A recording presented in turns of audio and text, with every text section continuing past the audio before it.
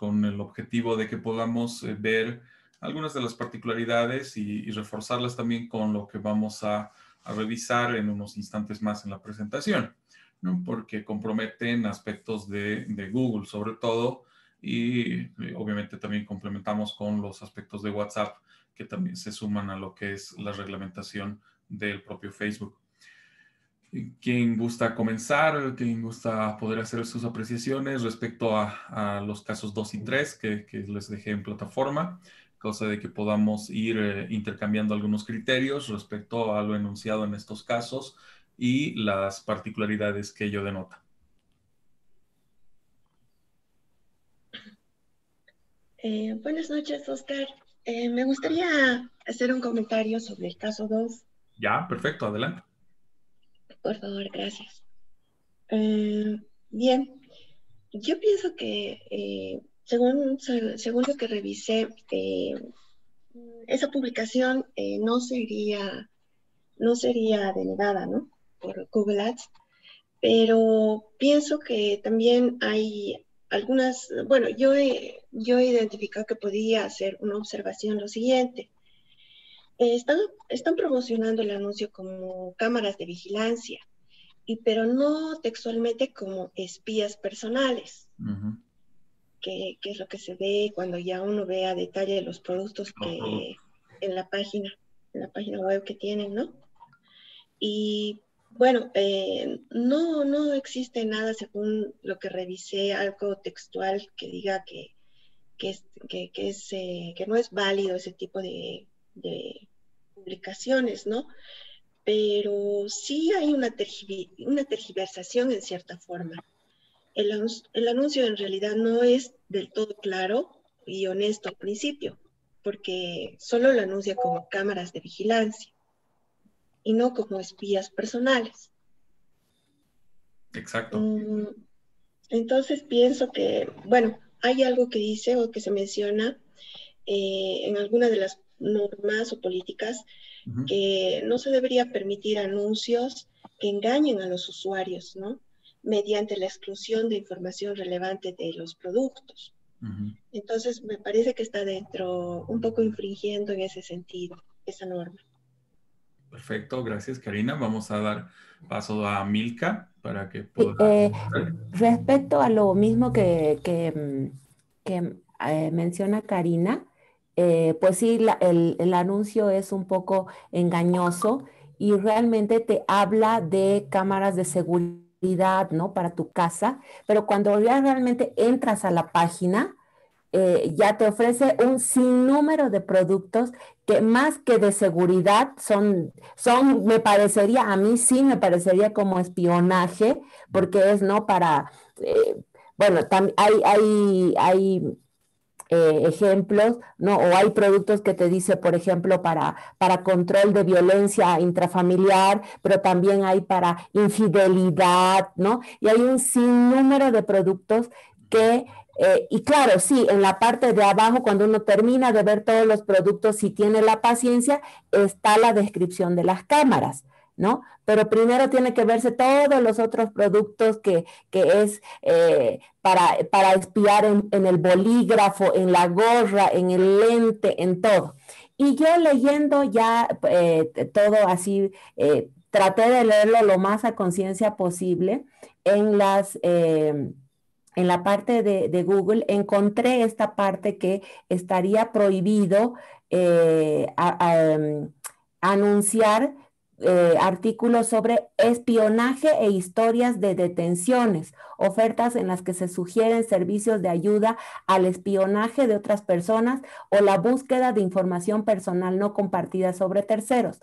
También incluye para buscar información sobre detenciones en registros públicos, por ejemplo, buscar delincuentes sexuales. Bueno, ya es, otro tema, ¿no? Pero aquí habla claramente que no, no se pueden publicitar eh, productos que vayan a servir a espionaje, ¿no? En este caso, ellos hacen, digamos, la trampa de decir cámaras de seguridad para, para proteger y saber lo que pasa en tu casa. Pero el, dentro de la página, lo que menos ofertan son las cámaras de seguridad, son los otros productos que al final tienen un, un precio más accesible y que la gente por ahí también se puede ver tentada a adquirir estos productos. ¿No? Entonces, partiendo de ahí, creo que eh, coincido con, con, Karina que no estaría aceptado este anuncio. O en algún momento lo, lo bajarían, ¿no? Les... Claro que sí, claro que sí. ¿Alguien más que quisiera complementar con alguna apreciación antes de que yo les haga algunas observaciones también?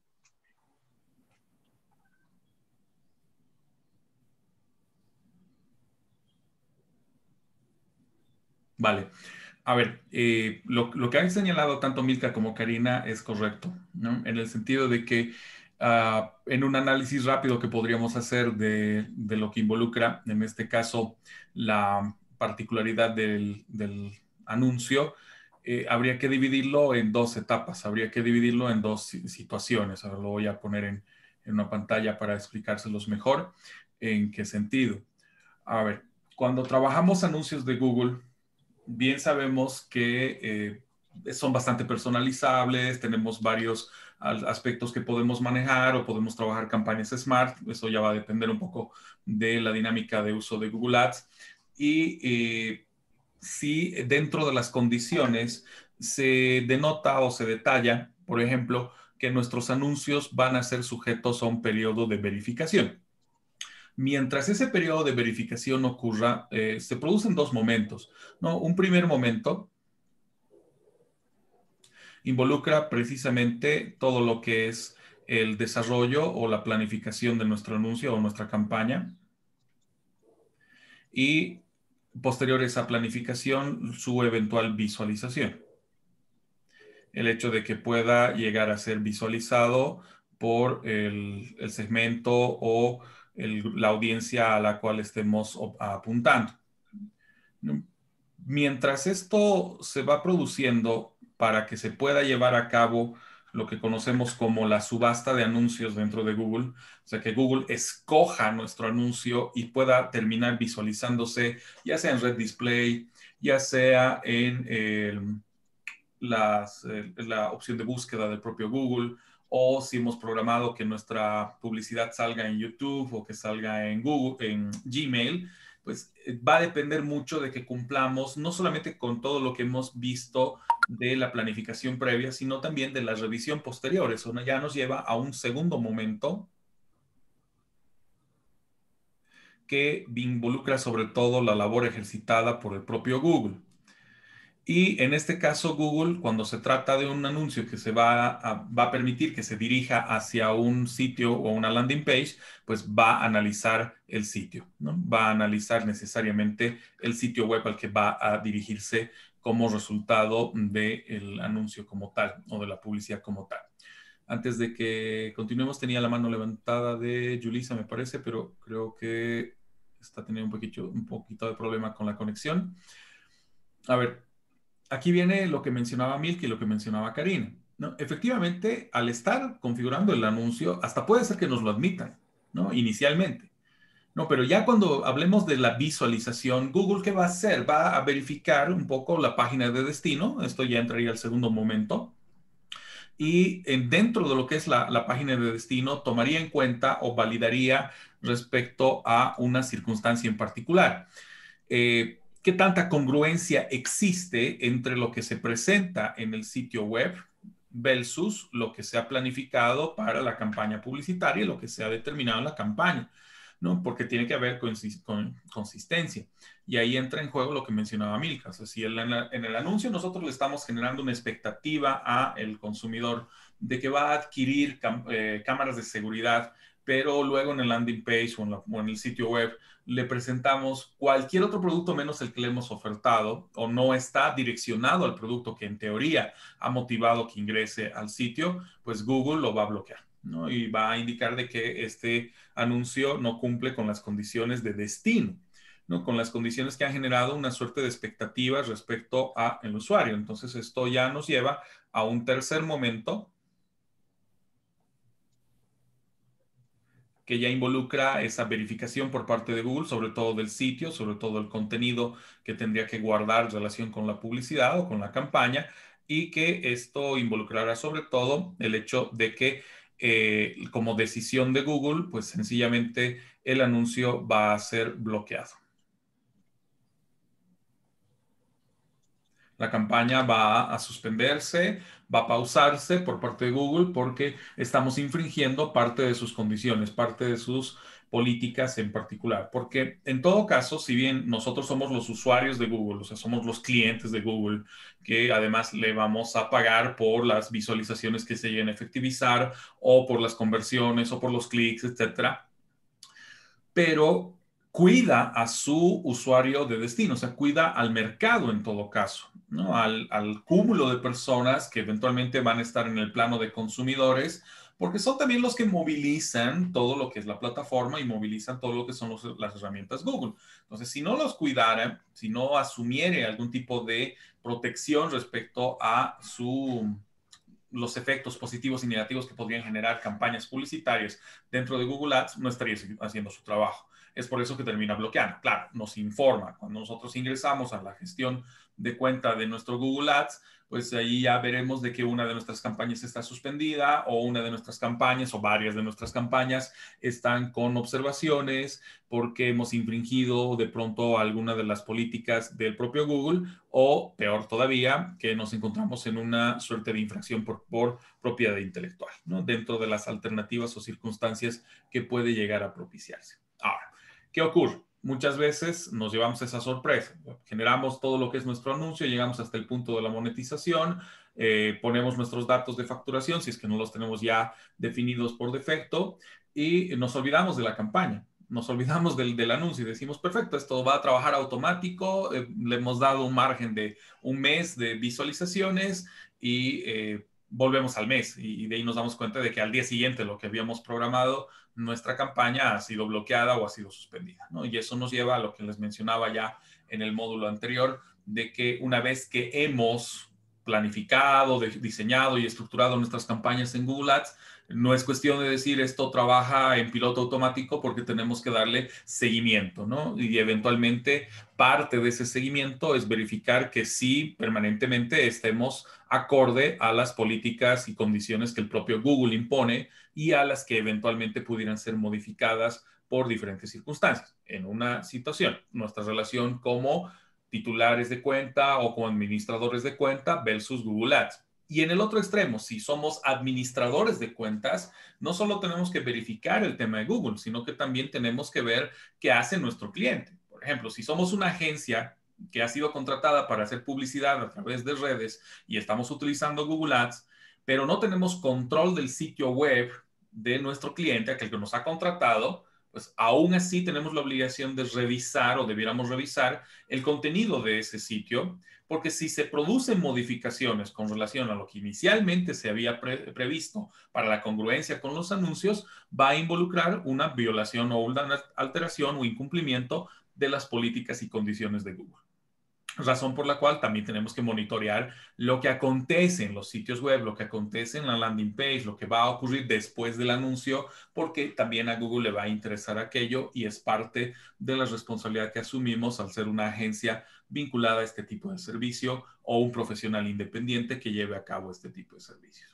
Por eso, los momentos que ocurren respecto a las campañas publicitarias, tanto previos, durante y post, son aspectos que nosotros tenemos que tomar en cuenta para verificar que nos acomodamos siempre a las previsiones de las condiciones y términos establecidos por cada plataforma, sea esta Google, sea Facebook, sea Twitter, sea Instagram, la que fuere. Entonces, ahí entran en juego diferentes factores que necesariamente debemos tomar en cuenta. ¿No? Es por eso que les planteaba las circunstancias de los dos casos, ¿no? No sé si alguien quiere ahora complementar o darnos su parecer respecto al, otro caso.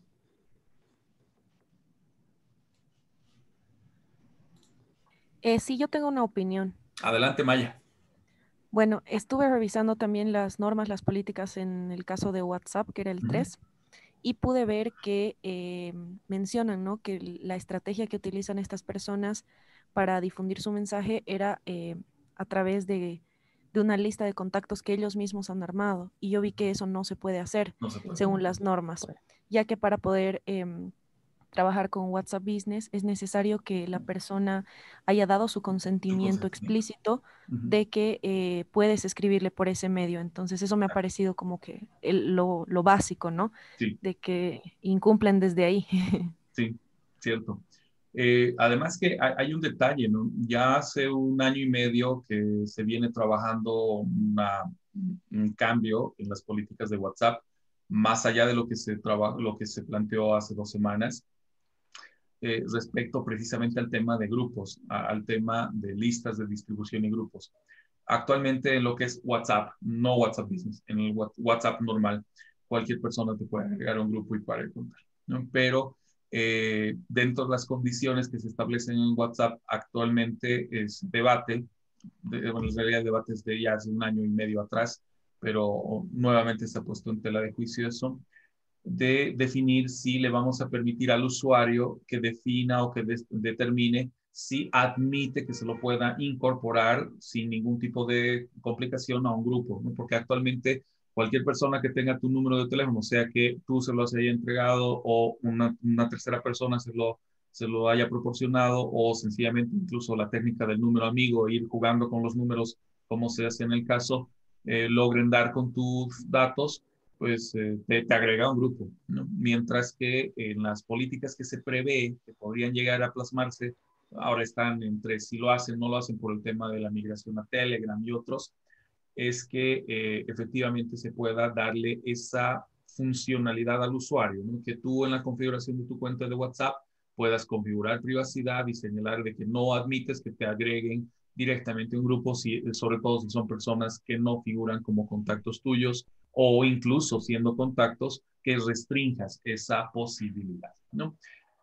Tiene sus pros y sus contras, no lo voy a negar. ¿no? En términos comerciales, obviamente, imaginen, la, técnica de número amigo, aunque parece cosa, aunque parece una broma, porque en realidad nace de una broma, lo de, lo de número amigo, eh, ha, sido empleada para explotar grupos de WhatsApp, para explotar precisamente las funcionalidades de WhatsApp para fines de distribución masiva.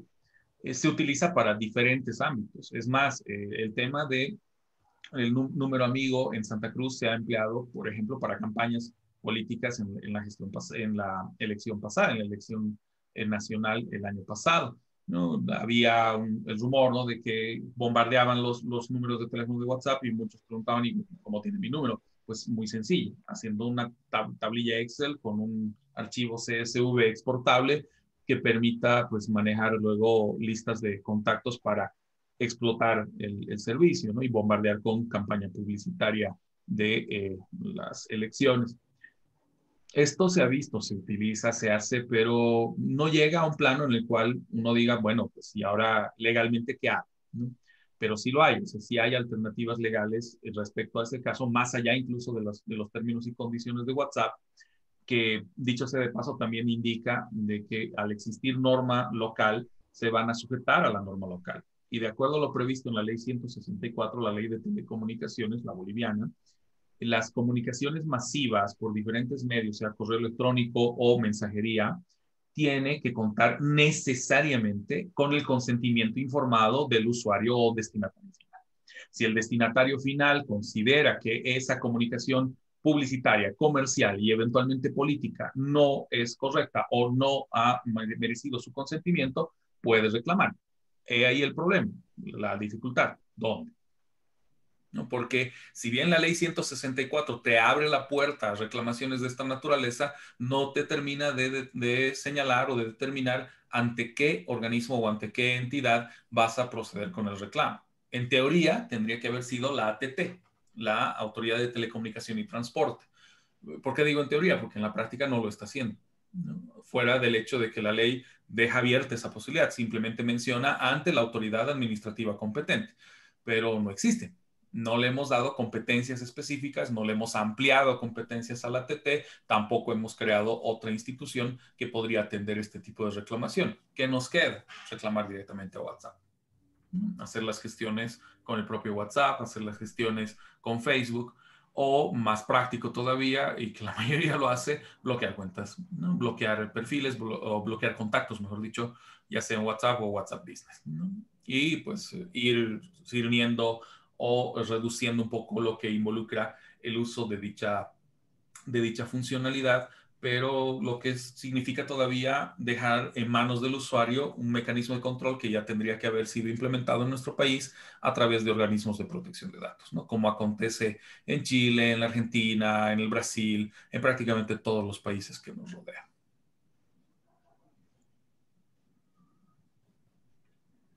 ¿Alguien más que quisiera hacer algún comentario respecto al caso 2? O al otro caso, mejor dicho.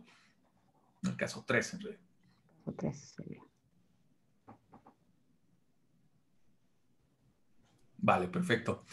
Eh, no se olviden que los casos luego los van a tener ya después de, estas apreciaciones, lo que se vaya comentando, los tienen que terminar de resolver o dar su apreciación y los van a entregar junto con los casos finales. Hoy también les explicaré un poco cómo vamos a trabajar ese aspecto para culminar con nuestro módulo, ¿no? Y que podamos dar pie también a la segunda parte con Community Management respecto al trabajo que harán con Jorge a ver, nos habíamos quedado con el tema de Instagram, ¿no? Nos quedaba muy... Este, em, adelante, Oscar, adelante. Oscar, una preguntita antes. Claro sí, con todo em, eh, bueno, eh, en el caso 3, la empresa es una empresa que te ofrece la posibilidad de que tú puedas abrir cualquier cerradura, ¿no?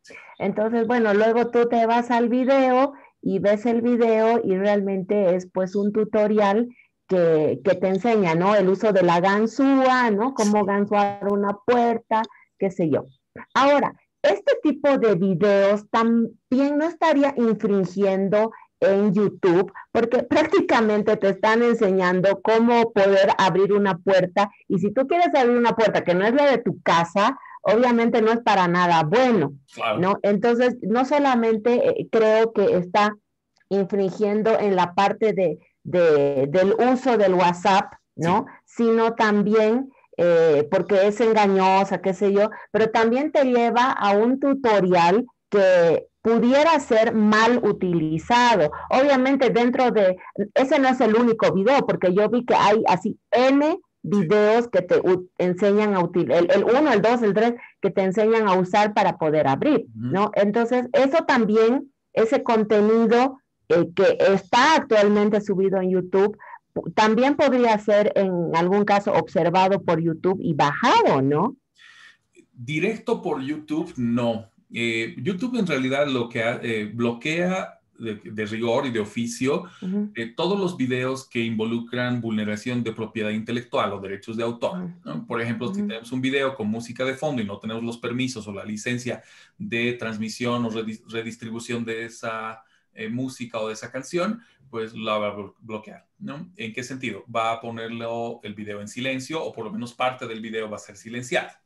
Eh, pero, ahora, cuando ya tenemos contenido que pudiera ser manifiestamente contrario a la política de Google, extendible a lo que es YouTube y la política propia de YouTube en lo que involucra contenido, además de las normas que pudieran ser involucradas a cada país, pues ahí Google y YouTube básicamente no operan de oficio, operan a reclamación. O sea, mientras no se produzca una reclamación de parte tercero, ese video todavía puede eh, ser reproducido y, si han visto, ese video está disponible y tiene una cantidad impresionante de, reproducciones.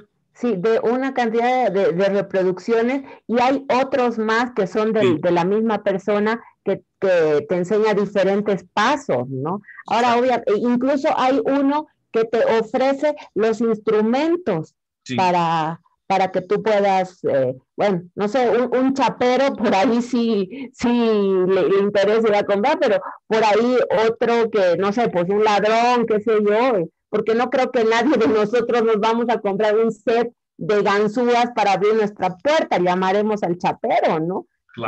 Me, llamó la atención el, contenido y que esté subido y que hayan muchos videos más. Pero bueno, ya, ya está la respuesta, que si no hay una persona que, que proteste al respecto, eso va a seguir. La verificación legal que hace YouTube a todo el contenido que nosotros subimos se encuadra en diferentes momentos también, ¿no? Como veíamos en el caso de Google Ads. Eh, de rigor, uno de los puntos que sí revisan de oficio es que eh, no fuere contenido ofensivo. Contenido que eventualmente genere o promueva violencia, contenido que pueda generar o promover actos de discriminación o que ya tiene violencia explícita o contenido sexual explícito. Eso ya de rigor. Google y YouTube al ver, al analizar ese contenido, cuando se está procesando el video, cuando lo subimos a nuestro canal, ya implícitamente la parte legal está atento, bueno, en, realidad es el algoritmo que hace la verificación y eh, cuando hay algún tipo de alerta sale el bloqueo. Ese bloqueo es casi inmediato. ¿no? el video queda suspendido, no el canal, pero sí el video queda suspendido. Ahora, cuando ya involucra, por ejemplo, vulneración de derechos de autor, eh, lo que les decía, el tema de la música, eh, YouTube lo que hace es someternos, todos nuestros videos son periodo de post-valoración. La primera es, como les digo, para ver que no sea contenido ofensivo, etc. Ya la segunda, tercera verificación es ver en, en relación también al volumen de visualizaciones y reproducciones y también cuántas veces se ha compartido el video, va incrementando la eh, circunstancia de la revisión. ¿Por qué? Aquí opera casi en una circunstancia eh, inversa, ¿no? Cuando el video es viral, cuando se ha reproducido, pero a un volumen o una rapidez impresionante, eh, ya disparan un poco las alertas también de YouTube para decir, ok, a ver, ¿por qué se ha vuelto viral? ¿Se ha vuelto viral por, lo, por el contenido que es correcto o eventualmente hay algún tipo de contenido que resulta ser eh, impropio, impreciso, inadecuado, etc. Entonces comienza a profundizar su revisión. Si dentro de esa revisión ubica ya vulneraciones específicas de derechos o de su propia política, va a bloquear el video. En el tema de propiedad intelectual, YouTube ha optado inclusive por una política proteccionista, ha optado por frenar antes de que se produzca una reclamación. Porque muchas veces las reclamaciones no van solo al usuario, al, al titular de la cuenta o al titular del canal, sino que van a la propia Google, que ha permitido que se distribuya contenido que estaba protegido por derechos de autor. Entonces, por eso YouTube ha optado o opta por una verificación previa de oficio en ese sentido. Tengo la mano levantada de Karina. Adelante, Karina. Mm, eh, sí, Oscar, es, sobre el tema de, YouTube también. Eh, resulta que mm, cuando vimos YouTube, eh, yo tuve como tema el, de, bueno, hice un video para apoyar a los adultos mayores, ah, enseñándoles cómo, cómo manejar, digamos, una aplicación del, banco BNB para crear una cuenta, digamos, ¿no? Y resulta que a los pocos días, eh, bueno, salió el video todo, pero a los pocos días me bloquearon la cuenta. Mm. ¿No? Y bueno, eh, eh, tengo entendido que no debería ser así, porque yo no estoy infringiendo textualmente mm. la, la parte que dice que uno está utilizando una aplicación que no es propia, ¿no? Sino que solamente estoy ah, haciendo como una especie de tutorial, nada más. ¿Y cómo, cómo, cómo podría yo resolverlo esto? Hay distintos caminos. Eh, obviamente cualquier cuenta suspendida o cualquier cuenta bloqueada o video suspendido o bloqueado eh, se somete todavía a un periodo de, de reverificación la primera verificación que hace Google y que hace YouTube es respecto a su comprensión, respecto a marca, propiedad intelectual, propiedad industrial, eh, derechos de autor, etc. Acá, por lo que comentas, Karina, puede haber, eh, haber estado de por medio el tema de marca, primero. Dos, el tema de propiedad intelectual y, propiedad y derechos de autor por la aplicación en sí, porque casi de defecto, y mucho más cuando se trata de aplicaciones de carácter financiero, eh, el, tema se pone un poquito quisquilloso respecto a quienes pueden hacer. Ahora, no te limite el hecho de que pueda hacerse un tutorial, se puede, pero hay que tener un poco más de, reparo en lo que es gestión de marca, que no, no se vaya a afectar la, guía de marca que, o las reglas que se imponen para visualización de marca de otros productos y productos de terceros, que es lo que generalmente produce el bloqueo por parte de YouTube si se acredita de que es un video educativo, por, eso es de que ahora también en YouTube tenemos las categorías. Bueno, las teníamos ya desde hace años. El hecho de que podamos definir qué categoría de video es para que se pueda ya denotar cuál es el objetivo, cuál es el destino, cuál es la finalidad y el propósito. ¿no? Porque eh, ya en la reverificación se tiene que acreditar aquello, ¿no? que se trata de un video informativo, un video tutorial destinado a brindar soporte.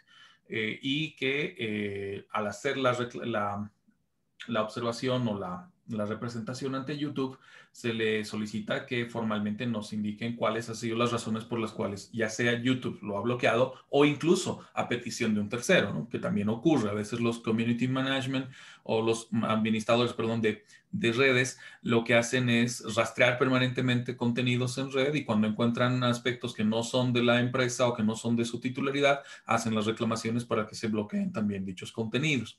No, esto ocurre con las empresas grandes, sobre todo pero eh, está sujeto todavía a una verificación. ¿no? Hay opción a plantearle a YouTube y a Google que el contenido sea nuevamente verificado, pasa a una revisión legal donde se va a constatar si no hemos vulnerado, ya sea manual de marca, si no hemos eh, vulnerado propiedad intelectual, derechos de autor, que son comúnmente los, los temas que se suelen infringir o que en opinión de YouTube se han infringido, pero que no necesariamente sea así. ¿No? Hay casos en los que, como bien menciona Karina, se trata de un video tutorial y que no debiera ser bloqueado, ¿no? Pero eh, ocurre, ocurre y mucho más cuando se trata de eh, sector financiero. Ok, gracias, Oscar. Con todo gusto. Es, un mundo bien interesante ese punto, eh, como vamos a ver enseguida en Google, porque en el caso de Google resume bastante la política general que se aplica a, a todo el ecosistema. ¿No? Para entender aquello, bueno, veamos lo, poquito que nos resta de Instagram y enseguida entramos con Google. Precisamente nos habíamos quedado el, día miércoles con este punto de, Instagram de los permisos, ¿no? Los permisos que le concedemos. Ahora, el titular de derechos siempre vamos a ser nosotros. No, Instagram nunca va a reconocer derechos a terceros. Por eso la recomendación que les daba, ¿no? Cuando se tenga un manejo de Instagram de una empresa, de una institución, es mejor tener también una cuenta institucional y no que se maneje a través de una cuenta particular o de una cuenta personal, ¿no? Porque para Instagram, eh, alias Facebook, eh, todo el contenido que se maneje en esa cuenta va a corresponder a ese perfil personal, a ese perfil individual y no institucional. Entonces, esto a veces genera desfases, ¿no? Hay lamentablemente hay a veces profesionales independientes o, agencias de publicidad que nos manejan nuestras redes, que nos manejan Instagram, que luego cuando hay un roce con la empresa o desligamos la relación contractual, pues es un, es un periodo muy tortuoso el lograr conseguir que la cuenta sea transferida y que la administración del contenido pues pase a un tercero o pase a otra persona o a la misma empresa. Entonces, por eso siempre las recomendaciones que se trabaje en un plano institucional. Y si se trabaja como empresa, cuando terciarizan el servicio, cuando nos contratan o cuando nosotros terciarizamos a otra empresa, eh, tener un contrato, ¿no? Tener un, convenio, un contrato claro donde se establezca qué ocurre en el caso de que la relación contractual se rompa y que se determine además un plazo o un periodo para redimir las cuentas, para que vuelvan a estar bajo nuestro control o que tengamos la posibilidad como titulares de la empresa con, que contrata los servicios de manejo de cuentas de Instagram, que puedas definir cómo van a migrar estos hacia terceros o hacia tu propia empresa. ¿no? Eso poco a poco estamos cogiendo ritmo en ese sentido, porque bueno, eh, no nos olvidemos que a pesar de que ya tenemos varios años trabajando en marketing digital en nuestro país, hay ciertas circunstancias que todavía las manejamos de manera muy, pero muy informal.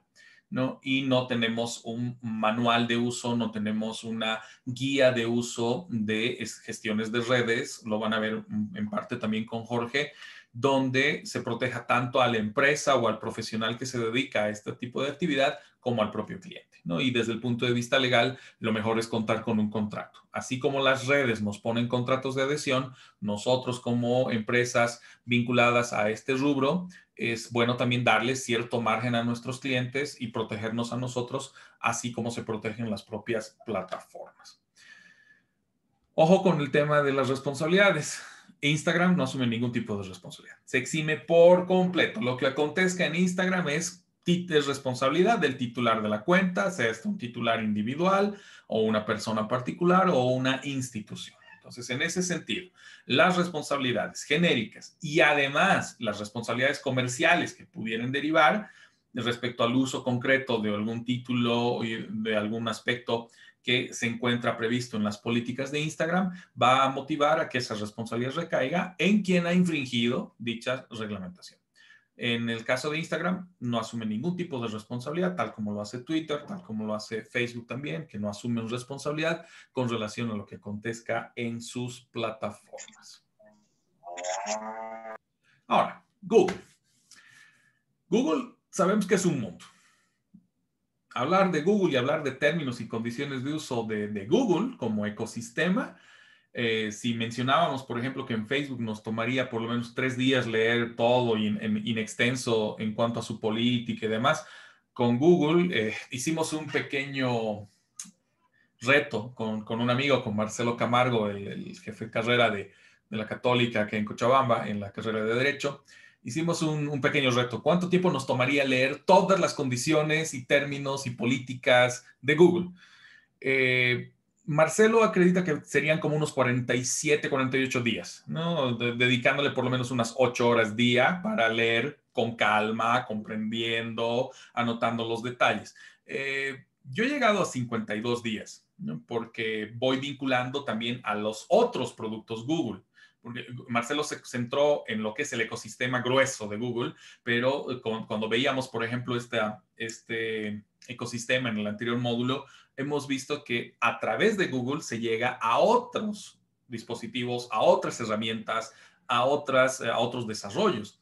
Eh, sin ir lejos, entramos a Google Developer, por ejemplo, toda la parte de desarrolladores de Google involucra TensorFlow, Firebase, etcétera, diferentes programas y proyectos.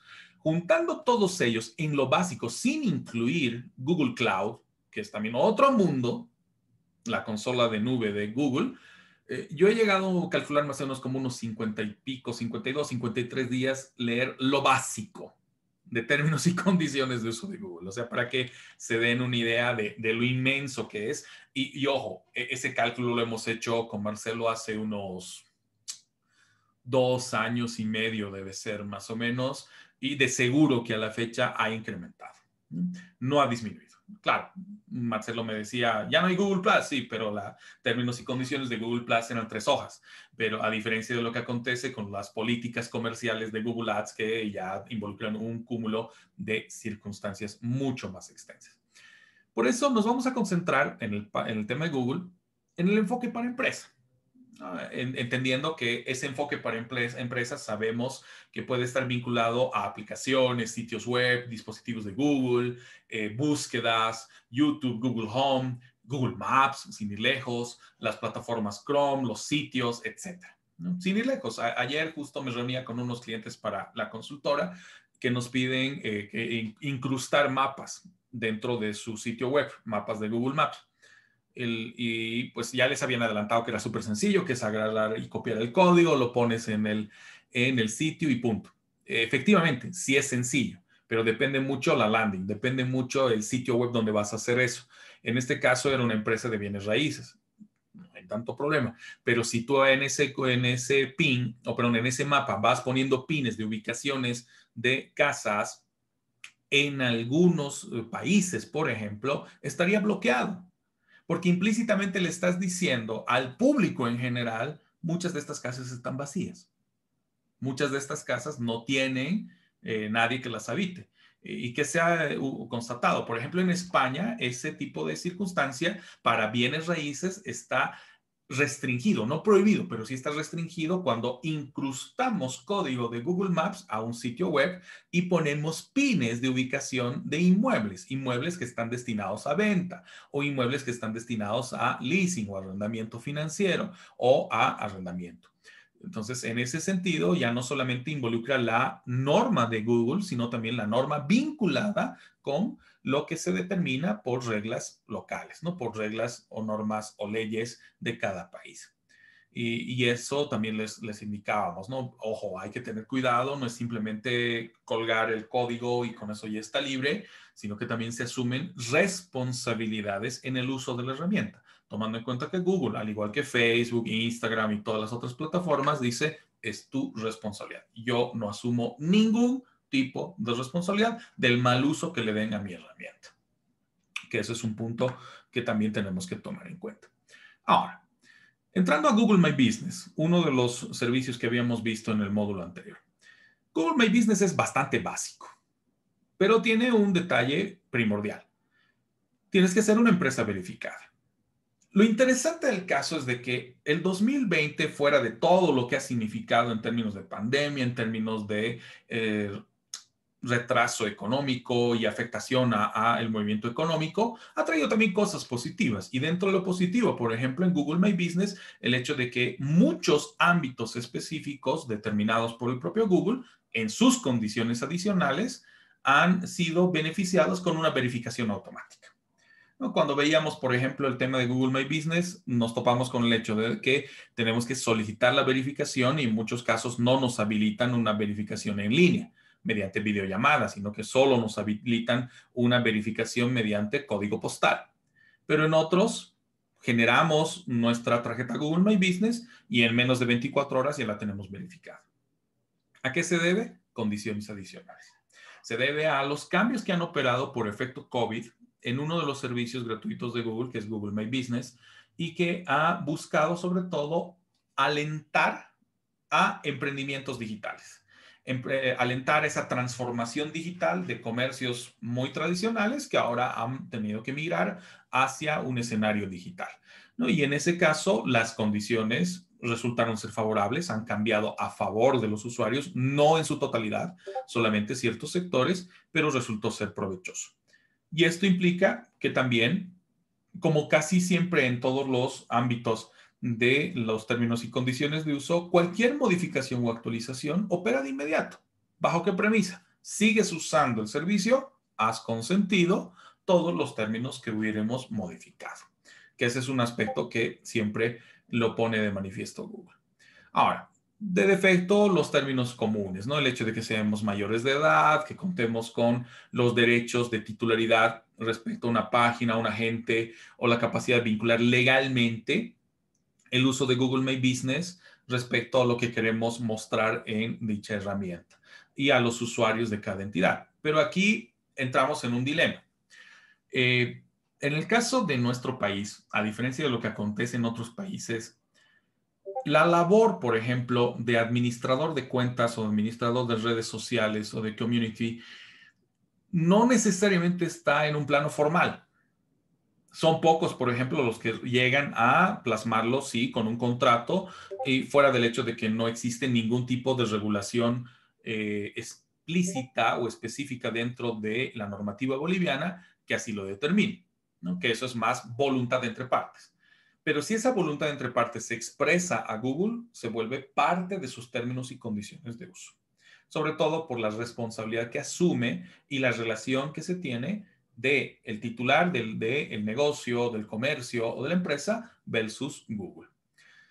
Esto a su vez tiene incidencia en la vinculación legal a terceros, entendiendo que si vamos a nosotros como empresa, por ejemplo, contratamos los servicios de un tercero o de otra empresa para que administre eh, una página de propiedad de, la empresa en sí y que se sujete además a condiciones adicionales, no solo de las previstas en Google, sino las relacionadas entre la empresa y el administrador de cuenta, que en este caso tendría que refrendarse en un contrato. Para que esto pueda ser efectivo ante Google, nosotros tenemos que manifestarlo. Es por eso que en la creación de tarjetas Google My Business, nosotros podemos agregar administradores externos, podemos agregar terceros que administren cuenta. Con esto implícitamente le estamos indicando a Google que debe vincular las condiciones y términos con dichos terceros, entendiendo que habrá tres partes involucradas. Google como proveedor de servicio, la empresa titular del contenido y el tercero, empresa o persona particular, que administra ese contenido a través de la tarjeta Google My Business. Porque además, cuando hablamos del contenido, el responsable primordial, como se trata de un servicio gratuito, somos nosotros mismos, como titulares de la información, y también los terceros. Razón por la cual toda la información que mostremos en Google My Business tiene que estar ligada a la legislación aplicable. Y en el caso boliviano, esa legislación aplicable hace referencia a dos leyes en particular para tomar en cuenta, que son la ley 164, la ley de telecomunicaciones, y la ley 453, la ley de defensa del consumidor, que trabaja el aspecto de publicidad engañosa y publicidad abusiva. Aparte de aquella, también tiene que sumarse la ley de propiedad intelectual o de derechos de autor la ley, uy, se me ha ido el 1322, la ley de derechos de autor, y de paso también otras normas conexas que pueden estar vinculadas a qué? Al contenido, para que no infringamos contenido, ya sea que estemos utilizando contenido de terceros que en realidad no nos, no nos pertenece o que hayamos modificado información y que la estemos manejando como si fuera nuestra. En ese sentido, Google deslinda cualquier tipo de responsabilidad en el caso de que ocurra una reclamación esa cuenta estará suspendida, esa tarjeta Google My Business puede ser suspendida porque ha habido una reclamación de tercero.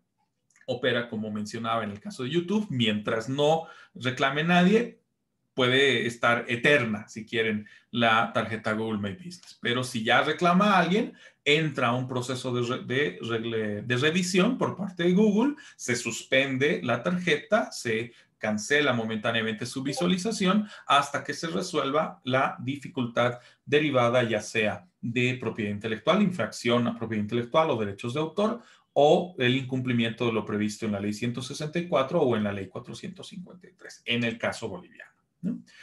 Eh, y esto se va a ir ah, incrementando en el momento que contemos con una ley de protección de datos, una ley de información sensible, ley de contenidos, etcétera, que eventualmente también puede llegar a plasmarse en nuestro país.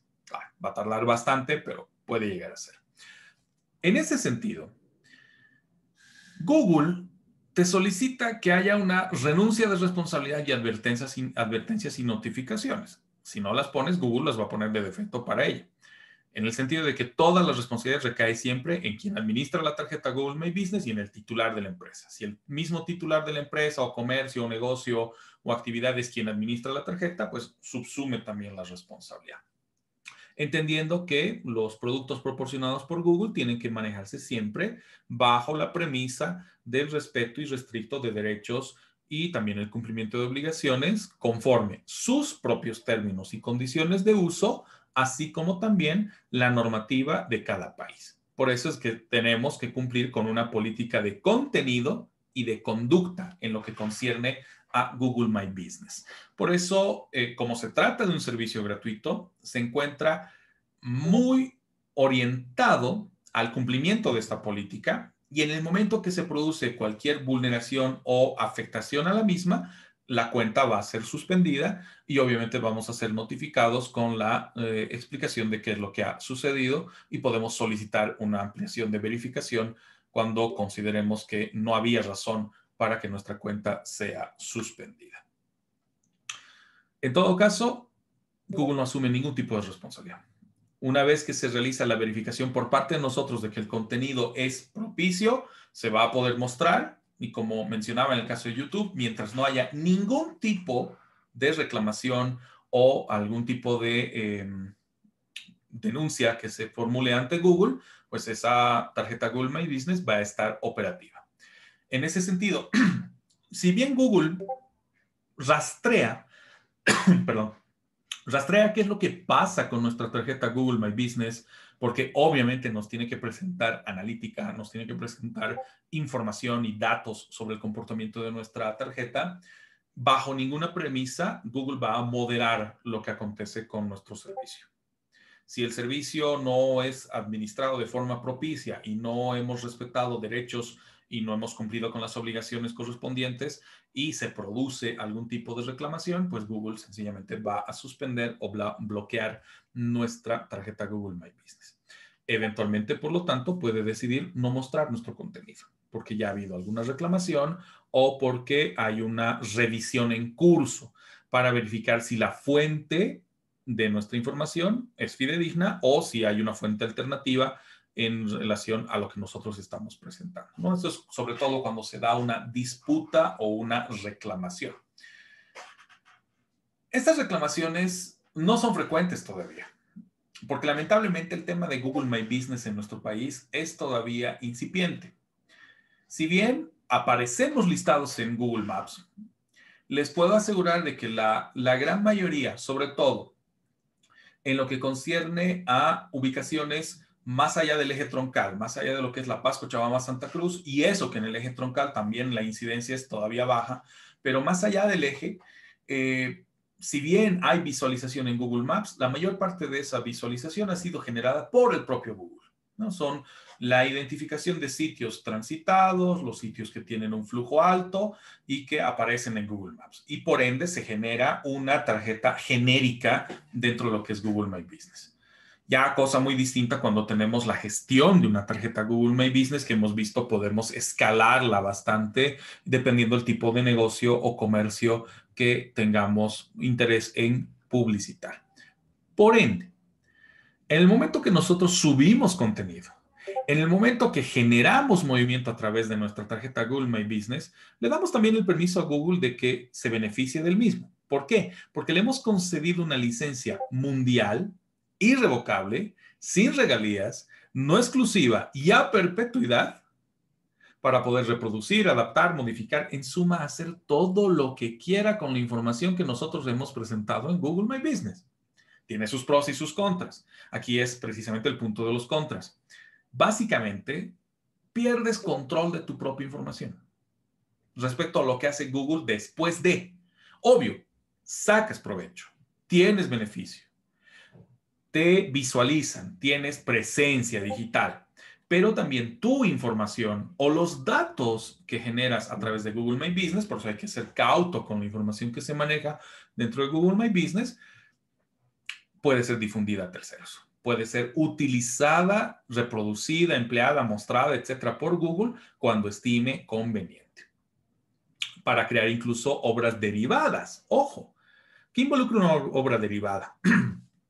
Las obras derivadas involucran, por ejemplo, todo lo que son recomendaciones de Google Maps. Les ha debido pasar en alguna ocasión. Eh, abren su Google Maps, prenden su GPS, buscan una dirección, llegan a esa dirección, etc.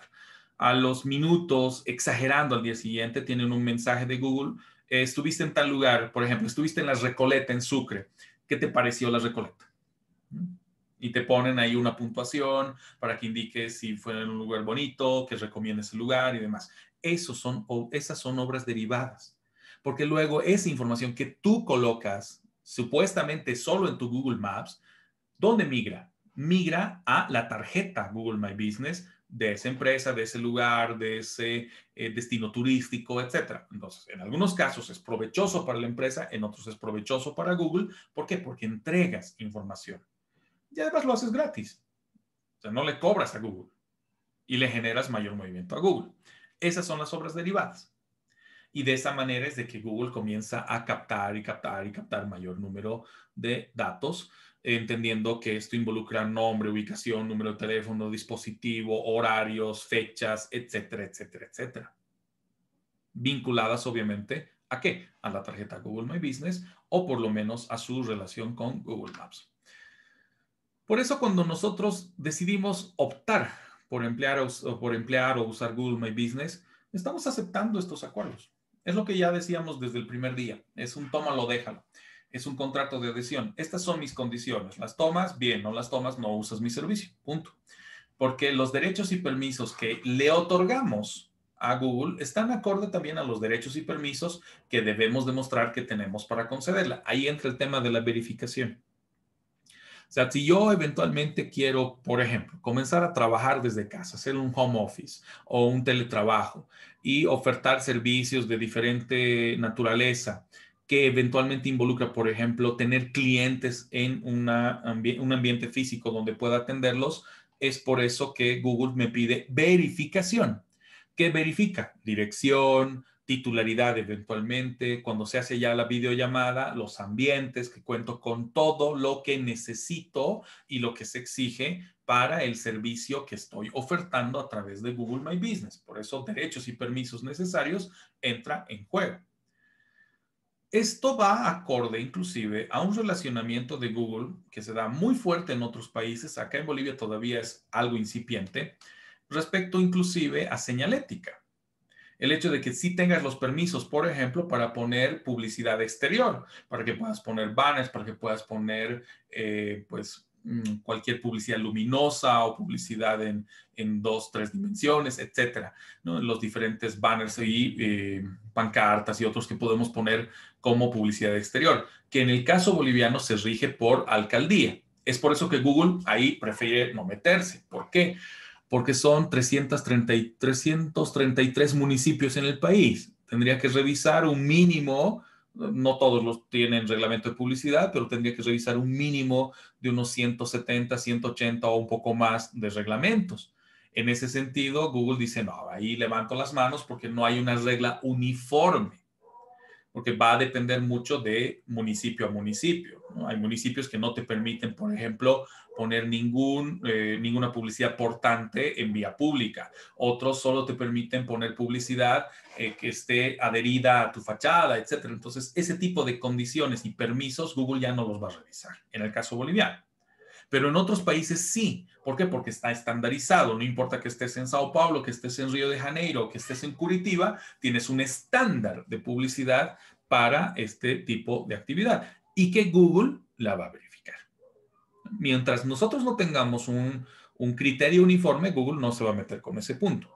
Por eso es que inclusive en algunos casos, dentro de la verificación, ha funcionado que tú en una hoja de papel pongas el nombre de tu empresa y la tengas pegada en la fachada de tu, de tu casa y ya con eso cumples por lo menos lo básico de las exigencias de Google My Business en el tema de verificación de fachadas, para ver dónde está ubicada tu actividad profesional, comercial, empresarial, etcétera, dependiendo de qué tan formal seas. Por eso, cuando ya hablamos de Google My Business, Google toma cierto recaudo en algunos aspectos, en lo que concierne, por ejemplo, también a los derechos de usuarios finales. Porque en todo caso, el, usuario final va a ser aquel que llega a tu comercio, aquel que llega a tu negocio a través de la tarjeta Google My Business, donde además le damos un permiso al usuario de edición. Y esto sí es bastante interesante. ¿Sabían, por ejemplo, que si entran a, a, la página o al, perdón, a la tarjeta Google My Business de cualquier hotel o cualquier negocio, cualquier comercio, pueden cambiar el número de teléfono? Pueden editar información y decir, no, los horarios de atención o el check-in, por ejemplo, en el hotel, no es a la una. El check-in se hace hasta las 11 de la mañana. ¿Qué va a pasar en esos casos? Y esto sí es un poco crítico en el, tema de Google My Business. Si no tenemos una gestión de la tarjeta apropiada, profesional, eh, con verificación por lo menos dos veces por semana, lo mínimo, así para ver qué tipo de movimiento, qué tipo de información se genera, además de estar vinculado a nuestra cuenta de correo y tener los anuncios de cuando se hacen cambios, podemos estar ante una circunstancia de que alguien de forma inescrupulosa nos cambie el número de teléfono, nos cambie los horarios de servicio o de atención y no nos demos cuenta sino hasta luego de una semana, dos semanas, un mes o inclusive no nos demos cuenta nunca a pesar de que ya haya habido contratiempos o inconvenientes y no sabemos de dónde se han generado estos. Ese es un tema crítico con el, con el aspecto de Google My Business. Le damos, le dan, mejor dicho, demasiado poder al usuario final. El usuario final puede hacer ediciones. Ahora, cuando la tarjeta Google My Business se gestiona de forma propicia, puede configurarse de que cualquier edición te avisen para que no corras este peligro. Entonces, ya en alguna medida restringe esa libertad irrestricta del usuario. Pero el tema de información editable, si no hemos tenido esa previsión, como les digo, podemos estar por lapso de dos, tres semanas con toda la información completamente falsa, errónea o imprecisa y que nos genere, obviamente, muchos problemas en términos de eh, la publicidad relacionada a nuestro negocio. Ahora, en cuanto al contenido, pues directamente Google asume que estamos cumpliendo con las condiciones de servicio, entendiendo que fotografías, videos, comentarios y otros datos que se manifiestan en nuestra tarjeta están sujetos a derecho de licencia de Google. ¿Bajo qué premisa? Los puede usar. Esa licencia es irrevocable y perpetua. ¿Qué denota aquello? Cerramos nuestra tarjeta Google My Business. Decimos, ok, no va más. Hemos cerrado el negocio, comunicamos a Google. Perfecto. No, Google no está en la obligación de borrarlo.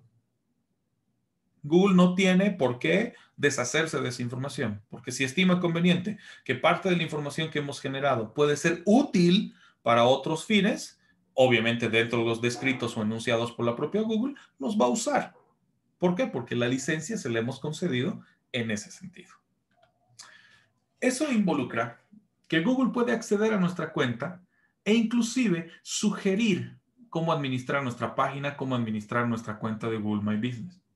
Como bien sabemos, la cuenta Google My Business o la tarjeta no sustituye una página web, pero ya es una presencia digital.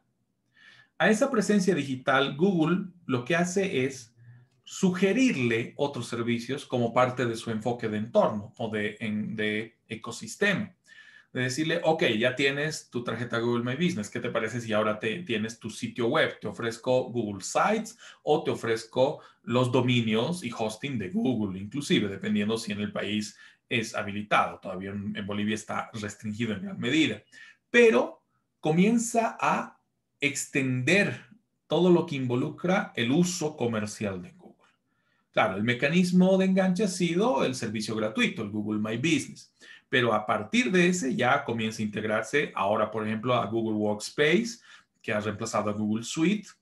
Después también se integra a lo que es la suite de comunicación de Google y de ofimática de Google, que se integra a Workspace o puede ser separada a Workspace. Todavía ahí sí se maneja el concepto de G Suite, donde te dicen que te pueden dar un correo corporativo, puedes acceder a ofimática, otros servicios agregados, etc. Entonces, ese es siempre el, enganche de parte de Google. Ofertarte algún tipo de servicio gratuito, pero para luego procurar vincularte a un servicio pago. Cuando ya llegamos a los servicios pagos, como ser Google Ads, que este ya no es gratuito, entramos en la misma dinámica de lo que veíamos en términos de publicidad con Facebook.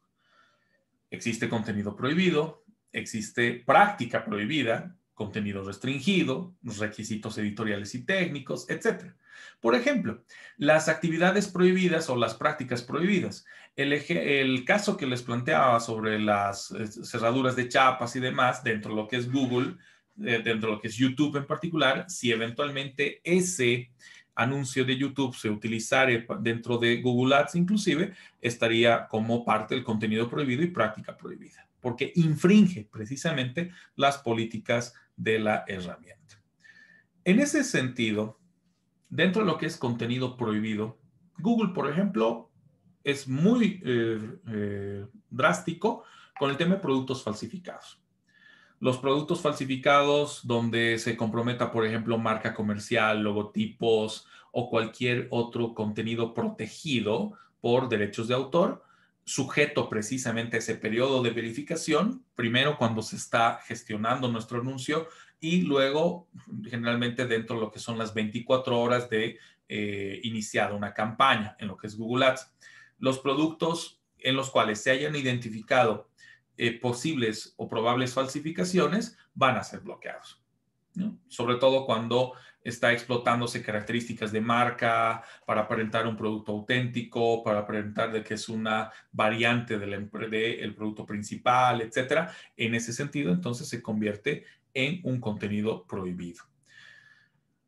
Lo propio cuando se trata de productos o servicios peligrosos como por ejemplo publicidad que se pueda hacer o campañas publicitarias para drogas recreativas, recreativas, psicotrópicas, etcétera, o instrucciones de fabricación de explosivos, productos nocivos y otros.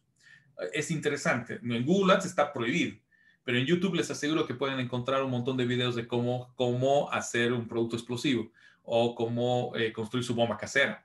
Los hay. Y, y es algo irónico, o sea, Google en la parte, si quieren, formal, donde sí pagamos, donde sí nos sujetamos a una serie de reglas, lo prohíbe, pero en la parte, entre comillas, abierta de lo que es YouTube, lo deja abierto, ¿no? Y sujeto a las eh, reclamaciones o denuncias que pudiera haber de terceros. Cuando trabajamos, sin embargo, anuncios y que tengan por objeto sacar publicidad o manejar campañas para productos o servicios peligrosos, es un contenido prohibido. Ojo, no significa que no le podamos hacer, por ejemplo, una campaña publicitaria a Maxam Fanexa, una empresa de municiones y explosivos acá en Bolivia, ¿no? Pero no podemos sacar eh, publicidad o campañas muy específicas mostrando un tipo de producto eh, o servicio que pudiera ser peligroso, ¿no? Ahí sí Google nos restringe bastante en la revisión que se hace de nuestro anuncio y nuestras campañas. Cualquier campaña o cualquier anuncio que tenga la finalidad de posibilitar un comportamiento fraudulento también va a ser parte de los contenidos prohibidos, sobre todo si busca un contenido deshonesto o un comportamiento deshonesto. Ahí entra el ejemplo que les ponía en el caso de las, eh, cerraduras, por un lado, y el otro también pudiera ser de lo que involucran las cámaras de seguridad. Contenido inapropiado. En el tema de contenido inapropiado, Google lo que hace es una verificación de una suerte de norma comunitaria muy parecida a lo que acontece con Facebook, que restringe de defecto contenido ofensivo que promueva odio, que promueva violencia, intolerancia o discriminación. Cualquier tipo de anuncio sugestivo o explícito con relación a los tópicos mencionados va a ser directamente prohibido. Cuando se trata de explotar eh, diferencias de grupos raciales, o cuando se muestra crueldad sobre animales y demás. Entonces, en este caso, no puede ocurrir. En el caso de, Facebook, sabemos muy bien que entra en ese parámetro de lo que es formal e informal. En el caso de Google, publicidad de este tipo que se concentra en lo que es Google Ads está directamente prohibida y se extiende también a lo que es Google My Business. Dentro de las prácticas prohibidas está también el hecho de que se vaya a prohibir por parte de Google el abuso de una red de publicidad. ¿Por qué? Google sabemos que tiene una llegada impresionante a través de red display, red de búsqueda, las campañas inteligentes, las campañas por YouTube, las campañas por, por Gmail, en suma, todas las alternativas que nos brindan para que nuestros anuncios terminen eh, pues, en el lugar correcto. Ahora, si esa red de Google se utiliza y se trata de explotar para que los anuncios terminen visualizándose sin cumplir las condiciones de lo que es la subasta de anuncios, el hecho de que Google vaya a escoger entre el cúmulo de anuncios que hay, el nuestro, para dar cumplimiento a la visualización y obviamente permitir que la campaña sea efectiva. Esto, ¿por qué lo ponen de manifiesto? Porque ha habido varios intentos de eh, pues, eh, romper la seguridad de Google Ads. Los procesos de revisión, sobre todo de anuncios, a través de código malicioso, a través de malware, que obviamente es detectado por Google y la pena es drástica. La pena involucra bloqueo total de su cuenta. Ya no puedes volver a utilizar productos de Google o servicios de Google con esa cuenta y si intentas eventualmente suplantar identidad, eh, como tiene la posibilidad de identificar IPs, identificar dispositivos, todavía te puede rastrear y mantener el bloqueo en ese sentido. Por eso se convierte en una práctica prohibida. En este caso, cualquier software malicioso que busque eh, pues alterar contenidos, camuflar páginas de destino o que se ponga como una suerte de freno o alteración a promociones, a, promociones, concursos y otros que eventualmente, que además también están muchos de ellos restringidos eh, y que pueda afectar el destino de la red de publicidad, se convierte en una práctica prohibida y una vez identificada, esa cuenta va a ser suspendida directamente. Lo propio cuando intentamos, a través de, nuestros, de nuestras campañas, un ejercicio de recopilación y uso de datos, un uso que no ha sido consentido por Google. ¿En qué sentido? Cuando intentamos recopilar datos a través de las campañas de Google Ads, involucra que no tanto en el anuncio, pero sí en el destino del anuncio, cuando llegamos a la landing page, que en vez de mostrarles, por ejemplo, la página de destino con el producto, con el servicio, con los detalles de la empresa, salgan pop-ups de formularios de consulta o que necesariamente tengas que llenar datos o crear cuenta para poder visualizar un archivo o visualizar, perdón, una página, pues sencillamente se convierte en una práctica prohibida porque estás intentando recopilar datos habiendo generado una expectativa en el usuario de llegar a información sobre un producto, servicio y otros. Peor si luego se constata que pretendes utilizarla para fines poco claros, cuando no, ni siquiera mencionas la razón por la cual estás recopilando dichos datos. En ese sentido, por ejemplo, cuando como resultado de hacer clic en un anuncio, se abre o se despliega un menú donde le pide que pongas nombre completo y el documento de identidad, tu documento de identidad nacional, el número de pensión o el número de, de cuenta o cualquier otro tipo de información sensible, se considera como una práctica prohibida de recopilación y uso de datos. Peor si no mencionas las razones puntuales por, cuales, por las cuales le exiges a tu cliente o, a al cliente potencial que entregue este tipo de datos. En ese sentido también es muy, pero muy eh, restringido por parte de Google el hecho de que para que puedas acceder a el destino de una campaña publicitaria y de los anuncios que se manejan, tengas que otorgar, por ejemplo, información financiera, información que entra dentro del criterio de la reserva de confidencialidad financiera, o que para que las promociones sean aplicables, necesites tú acreditar, por ejemplo, tu orientación sexual, tu situación financiera y otras. En este caso, se convierten en infracciones respecto a el régimen de publicidad aceptado dentro de Google Ads y los procesos de remarketing basados en intereses que acá Google directamente trabaja sobre un estándar internacional. No importa dónde te encuentres, no importa que tu norma no contemple estos aspectos. Google directamente se toma muy en serio el tema de la recopilación y uso de datos eh, indebida respecto a estos aspectos mencionados porque se alinea o se va a acomodar a previsiones de carácter internacional. Lo propio cuando intentas tergiversar la información, como bien mencionaban también en el caso del análisis del caso planteado.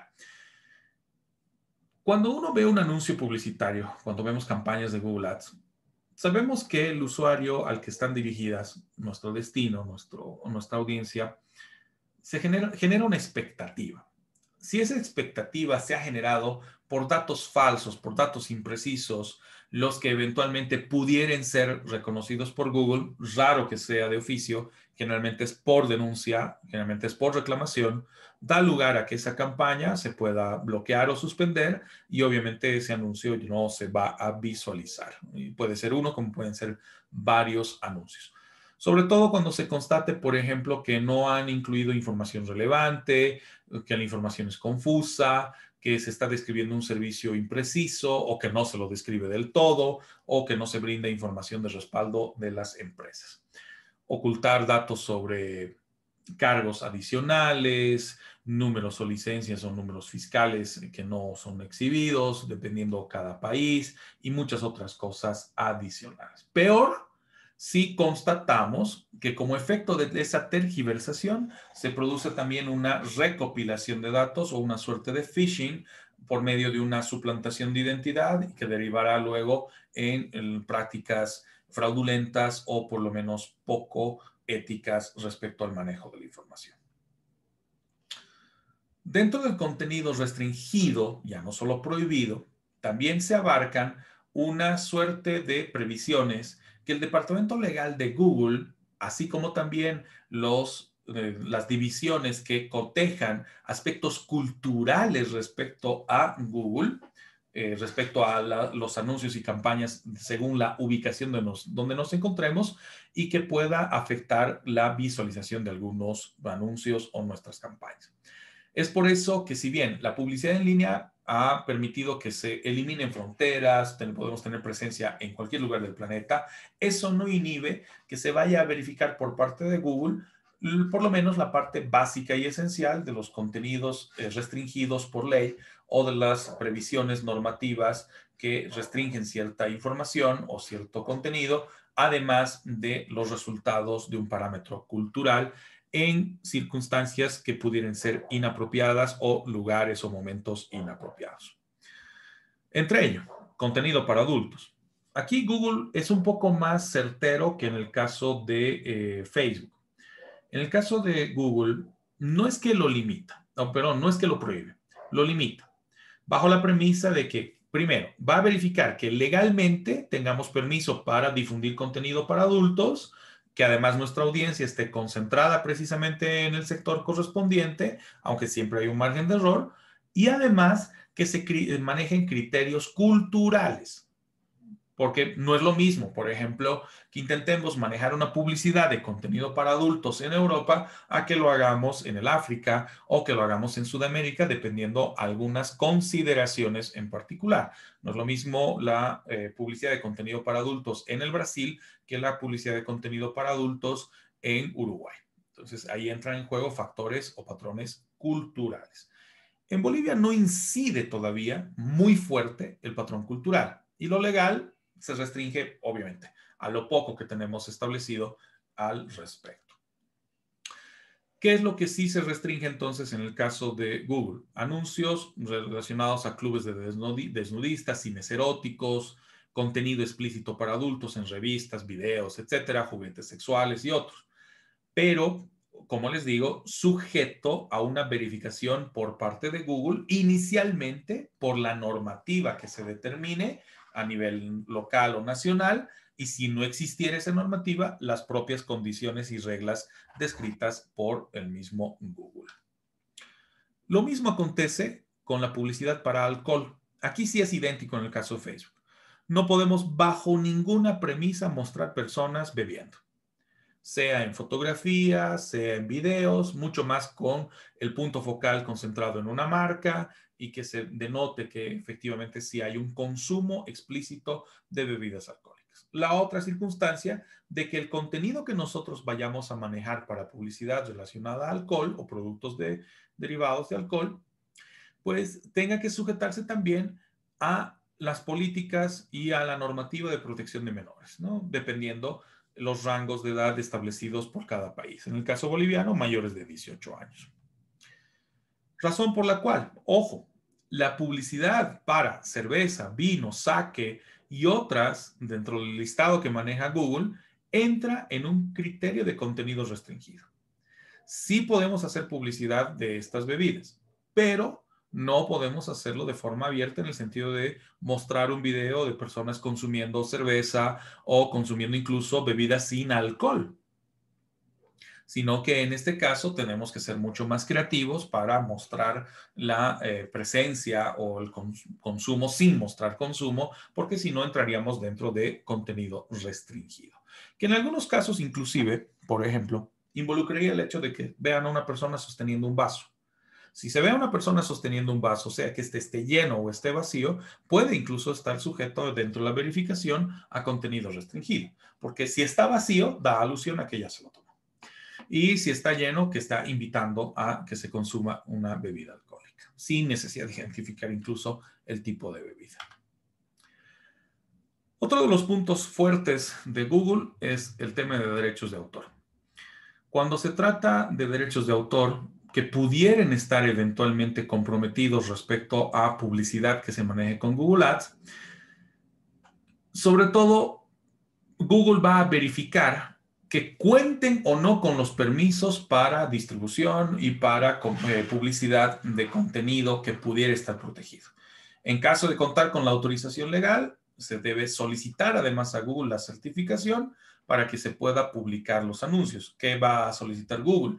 Que corroboremos que nosotros somos los eh, titulares de dicho contenido y que obviamente tenemos el derecho de sacar publicidad respecto al mismo o que eh, se nos ha otorgado el permiso por el titular de dicho contenido. Si ese contenido resulta ser no autorizado, pues está sujeto a reclamo y ahí viene un poquito el tema de los fallos todavía de Google Ads. Si bien nos pide certificaciones para publicidad que pudiera ser contraria a derechos de autor, se puede escapar algún punto de la revisión inicial pero si se produce una reclamación, entonces sí se hará una verificación nuevamente del contenido del anuncio, sujeto precisamente a la denuncia. En el tema de juegos de apuestas, al igual que en el caso de eh, Facebook, también lo manejan como un contenido restringido, porque si bien permite que se pueda sacar publicidad sobre casas de apuestas, casinos y otros, o máquinas inclusive eh, como las tragamonedas y otras, pues necesariamente tendrán que estar sujetas a las condiciones locales. En el caso boliviano, la autorización de la AJ para que pueda eh, constatarse como una actividad eh, regulada y también consentida o permitida. Por eso es importante, previo a trabajar un anuncio con Google Ads, verificar la normativa local imperante. Eh, y eso involucra que en los artes, por ejemplo, que vayamos a manejar en Google Ads, se tengan que incorporar las leyendas de que esa actividad está debidamente regulada por la AJ respecto a los juegos de apuestas y juegos de azar. Es por eso que en el caso de Google resulta restringido publicidad o restringida la publicidad sobre casinos, sitios deportivos, ruletas, apuestas en línea y otros Ah, eh, relacionados, inclusive material educativo para juegos o para eh, em, juegos de azar en particular. De la misma forma que en Facebook, el cuidado de la salud y medicamentos obra en la misma lógica que se deba constatar mediante la norma local que dichos productos de salud o de cuidado de la salud y medicamentos sean debidamente autorizados por las instancias gubernamentales correspondientes. En el caso de Bolivia, ASUS, ¿no? que cuenten con la eh, verificación de ASUS y excepcionalmente con la verificación del el CEDES o el SENASAG, ¿no? dependiendo el tipo de producto que fuere. Para eso también Google directamente nos remite a el contenido de la norma local a la cual ya ha tenido acceso y tiene un bagaje de conocimiento que le permite constatar qué anuncios van a ser restringidos y qué anuncios pudieran ser eh, autorizados. Ya cuando hablamos de contenido político, aquí la cosa se, torna un poco interesante. porque eh, Google parte de la experiencia norteamericana en lo que es publicidad de contenido político para campañas, para elecciones, para campañas electorales, para anuncios de partidos políticos o de candidatos en periodos de, elección, de elecciones. Partiendo de la premisa de que, y esto es casi uniforme en la mayor parte de los países del mundo, que las campañas solo pueden ser efectuadas durante los periodos admitidos por las autoridades electorales. Si no, estarían dentro de los denominados periodos de veda, que no es posible efectuar campaña publicitaria, campaña electoral o campaña política. En lo que involucra promoción de partidos, candidatos, defensa de cuestiones políticas o cualquier otra circunstancia de que, que pueda vincularse a dicho contenido. Antes de que vayamos al descanso, veamos también servicios financieros. En el tema de servicios financieros, la política de Google está ligada al hecho de que sí se puede promocionar este tipo de servicios, sí se pueden hacer campañas para servicios financieros, siempre y cuando se apareje o se connote de que se está presentando la información correspondiente, transparente y oportuna y precisa respecto a productos y servicios financieros, que debe acreditarse que somos una entidad debidamente autorizada, banco, cooperativa o la entidad financiera que fuere, dependiendo del servicio que se está ofertando, sobre todo para evitar que se lleven a cabo prácticas perjudiciales o engañosas y que terminen afectando a la expectativa o la certidumbre del sector eh, o de la población y de los usuarios y consumidores financieros. Por eso, previamente Google, ¿qué hace? Verifica a través de las autoridades locales cuáles son los productos y servicios financieros que han sido debidamente autorizados razón por la cual este tipo de verificación y revisión por parte de Google Ads suele ser mucho más ágil, mucho más oportuna, porque ya cuenta con una base de datos que le es proporcionada a través de las autoridades locales o las autoridades de cada país.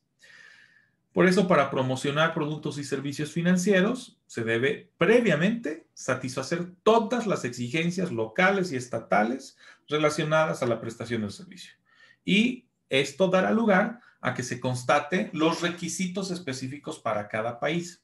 En el caso de Bolivia, Google nos va a remitir a la normativa ASFI, a la normativa establecida por el regulador financiero y excepcionalmente por el Banco Central. Y esto obviamente va a cambiar según el país donde nos encontremos. ¿Qué les parece si hacemos un pequeño descanso? Tomemos unos 10, 15 minutos de, de descanso. Retornando, veremos algunos aspectos más de Google Ads algunos aspectos también relacionados a otras plataformas para ya cerrar eh, luego con el análisis de la normativa, que ya he citado brevemente, ¿no? La ley 164, la ley de propiedad, o perdón, de protección del consumidor y otras que rigen a lo que podemos hacer en redes sociales. ¿Vale? Tomemos entonces un pequeño descanso de unos 10, 15 minutos, por favor. Gracias, Oscar. Gracias. No hay de qué.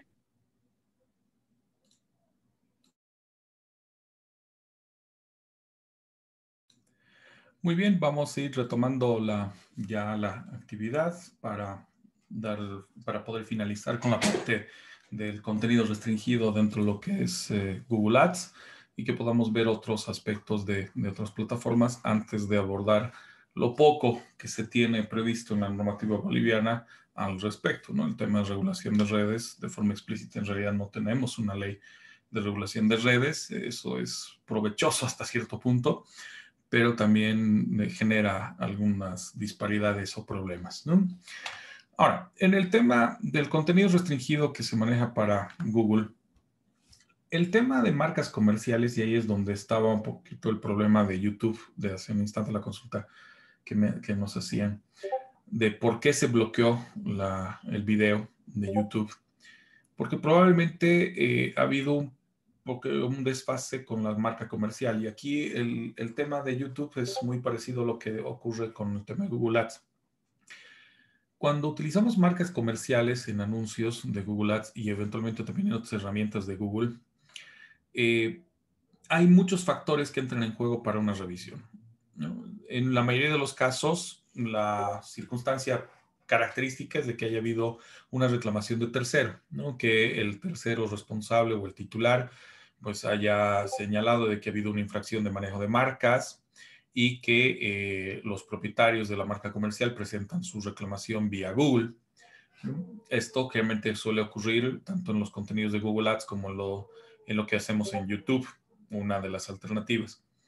La otra es de que haya sido resultado de una revisión por parte del Departamento Legal de Google, ¿no? sobre todo cuando ya estamos hablando de marcas de renombre que la mayoría de estas manejan un manual de marca respecto a dimensiones, colores eh, eh, y eventualmente otros factores que necesariamente tenemos que cuidar y que nuestras artes tienen que estar vinculadas precisamente a ese aspecto para evitar ser restringidas en cuanto a su visualización en la subasta de anuncios. Esto a su vez nos lleva a un cúmulo de requisitos legales en el sentido de que eh, siempre que vayamos a trabajar con Google Ads, asumimos la responsabilidad de garantizar que contamos con todo el aval y que contamos con todas las autorizaciones pertinentes emitidas por las entidades o autoridades locales. Esto trae consigo hablar de un plano de formalidad y eso sí es algo relativamente complicado en nuestro país porque sabemos que la actividad comercial predominante es informal si bien el volumen formal eh, tiene una incidencia muy fuerte todavía en nuestra economía, básicamente sostiene lo que es el Estado, pero no podemos dejar de lado lo que acontece en un plano informal. Por eso, a veces salir de esos esquemas, salir de esta lógica informal para adecuarnos a requisitos legales, va a traer consigo también limitaciones en cuanto a el uso de servicios de Google, como en este caso de Google Ads si no podemos acreditar muchos de los aspectos mencionados anteriormente y que eh, pudieran dar fe de que se trata de un titular con las debidas autorizaciones, con los debidos permisos para la difusión de contenido al interior de nuestro país, con relación a lo que se puede hacer en términos de anuncios publicitarios. Fuera de aquello también, Google año tras año, en el tema de Google Ads, va incrementando el listado de actividades comerciales restringidas, en función sobre todo a las revisiones continuas que se hace de la política comercial y de los contenidos eh, previstos en su reglamentación, sobre todo cuando se llegue a identificar productos o servicios que pudieran ser tendientes a eh, abusos y eventualmente a desconocimiento de derechos o incumplimiento de obligaciones. Es por eso que en algunos casos hay riesgos justificados y riesgos injustificados para la seguridad y experiencia del usuario. Es por eso que mm, Google ha optado más por una línea conservadora. Si eventualmente, en opinión de Google, el anuncio publicitario o el destino del servicio, producto que vaya a ser publicitado a través de nuestras campañas en Google Ads pudiera terminar afectando intereses eh, o la integridad física inclusive de los usuarios a quienes va dirigido o los clientes potenciales a los que va dirigido, puedes restringir la publicidad sobre dicho contenido. Y esto directamente pasa no por una reclamación, sino directamente por la decisión asumida por la misma Google.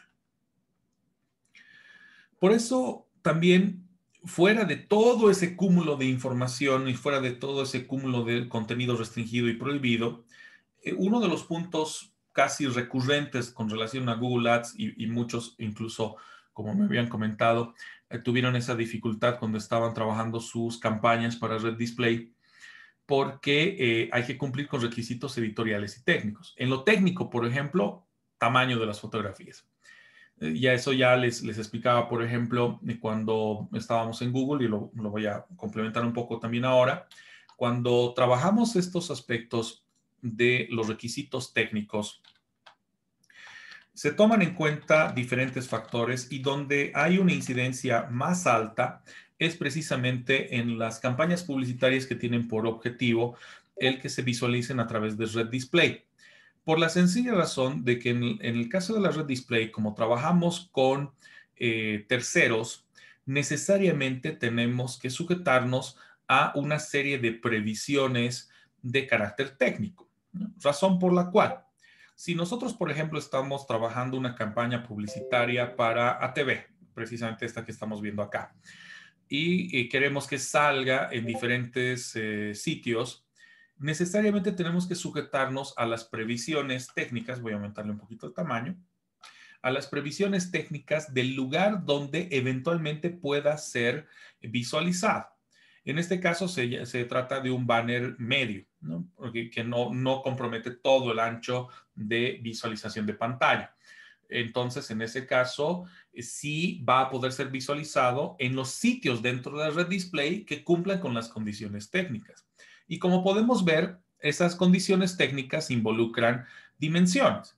Si este banner tuviera una dimensión distinta, sencillamente va a ser bloqueado, no va a ser admitido, porque ya se tienen formatos, si quieren, preestablecidos dentro de lo que es el uso de la red display para dar lugar a publicidad. Vamos a ver si tenemos alguna otra publicidad dentro del sitio de los tiempos, que últimamente ha, ha decaído bastante en el tema de visualización de contenido publicitario. Sí, solamente tenemos este de la ley integral. ¿no? Que en este caso, de la misma forma, si no cumplimos con las condiciones técnicas para que pueda visualizarse, pues va, no es que va a estar como contenido restringido, sencillamente no lo van a admitir. Eh, es por eso que si es un contenido cuadrado, si es un banner, si es un carrusel, tiene necesariamente que sujetarse a las condiciones técnicas que se hubieran establecido para el manejo de la página. Y esto a veces resulta provechoso si nosotros tenemos, por ejemplo, intención de que nuestra publicidad salga en un lugar específico, suponiendo el caso que siendo ATV queremos que esta publicidad salga o este anuncio, mejor dicho, salga en el sitio de los tiempos, eh, pero optimizando todo lo que es el espacio, podemos incluso recurrir a la visualización de consola, donde al tener el detalle, perdón, al tener el detalle del espacio, ya en la consola nos sale los, los datos técnicos que tenemos que tomar en cuenta para verificar los tamaños de nuestros anuncios, la presentación y otros aspectos que se pueden visualizar precisamente en la vista de consola de cada uno de los sitios donde tenemos intención de poder tener presencia. En ese sentido, también las condiciones y requisitos técnicos y editoriales que determinan Google son tan explícitos que nos ayudan a identificar dimensiones, peso de los archivos y otros para que sí efectivamente nuestro anuncio pueda ser considerado y en todo caso llegue a visualizarse. Es por eso que Google trabaja con estándares trabaja a través de estándares profesionales y editoriales muy estrictos respecto a los contenidos que sí van a ser aprobados y los contenidos que van a ser rechazados en el manejo de nuestras campañas. Aparte de aquello, aparte de los contenidos técnicos o los requisitos técnicos, también hace una revisión de contenido procurando que la información entre lo que es el anuncio y el destino final del anuncio, que sería ya sea un producto, un bien, un servicio eh, que va a ser visualizado o que va a tener que constatarse en una tienda física, sea relevante, útil y que exista congruencia entre lo que fue el anuncio y lo que es el producto o servicio final, para que pueda propiciarse a beneficio de los usuarios y consumidores de todo lo que puede llegar a hacerse a través de Google Ads. Es por eso que cuando no cumplimos con estos requisitos, se van a bloquear nuestras campañas o por lo menos parte de nuestros anuncios, cuando son anuncios muy genéricos o cuando estamos infringiendo reglas y políticas de Google, como por ejemplo eh, sacar anuncios haciendo alusión de que se trata de un producto o servicio gratuito, ¿no? Y esto está prohibido. Eh, no podemos camuflar aquello, pues tratando de escribir de forma distinta la palabra o utilizando a símbolos o signos para camuflar dicha información y que en todo caso se admita bajo ese parámetro. Entonces, los requisitos editoriales son bastante rigurosos en el tema de Google para evitar precisamente eh, vulneración de derechos y generar una falsa expectativa sobre contenidos y destino de productos y servicios. El destino, que también hacían alusión al principio respecto al, al caso analizado. Todos los anuncios tienen que tener congruencia con el destino del mismo si estamos señalando, como mencionábamos en el caso, un tipo de producto y al llegar a la página de destino ubicamos cualquier otro tipo de producto que no es el que estaba previsto en el anuncio, pues se va a convertir en un producto restringido, en un anuncio restringido o en un anuncio que puede ser bloqueado o por lo menos observado por parte de Google. Para ello, en los requisitos del destino hay que cumplir con ciertas condiciones genéricas. Primero, la URL tiene que ser visible. Por eso es que trabajamos con formatos dentro de lo que es Google Ads, según vayamos a una campaña en red display, una campaña en red de búsqueda, etcétera. No podemos dirigirnos a sitios genéricos, peor directamente dirigirnos a Google o a Gmail, porque esto estaría en contra de las políticas asumidas por Google Ads. También eh, se restringe y se observa bastante cuando los sitios se encuentran en construcción o todavía no son públicos, porque puede ser que el destino ya exista, pero todavía no se ha visto público. Son páginas que están precisamente en construcción o que están todavía diseñándose. Lo propio cuando se trata de sitios que no puedan verse en navegadores de uso común.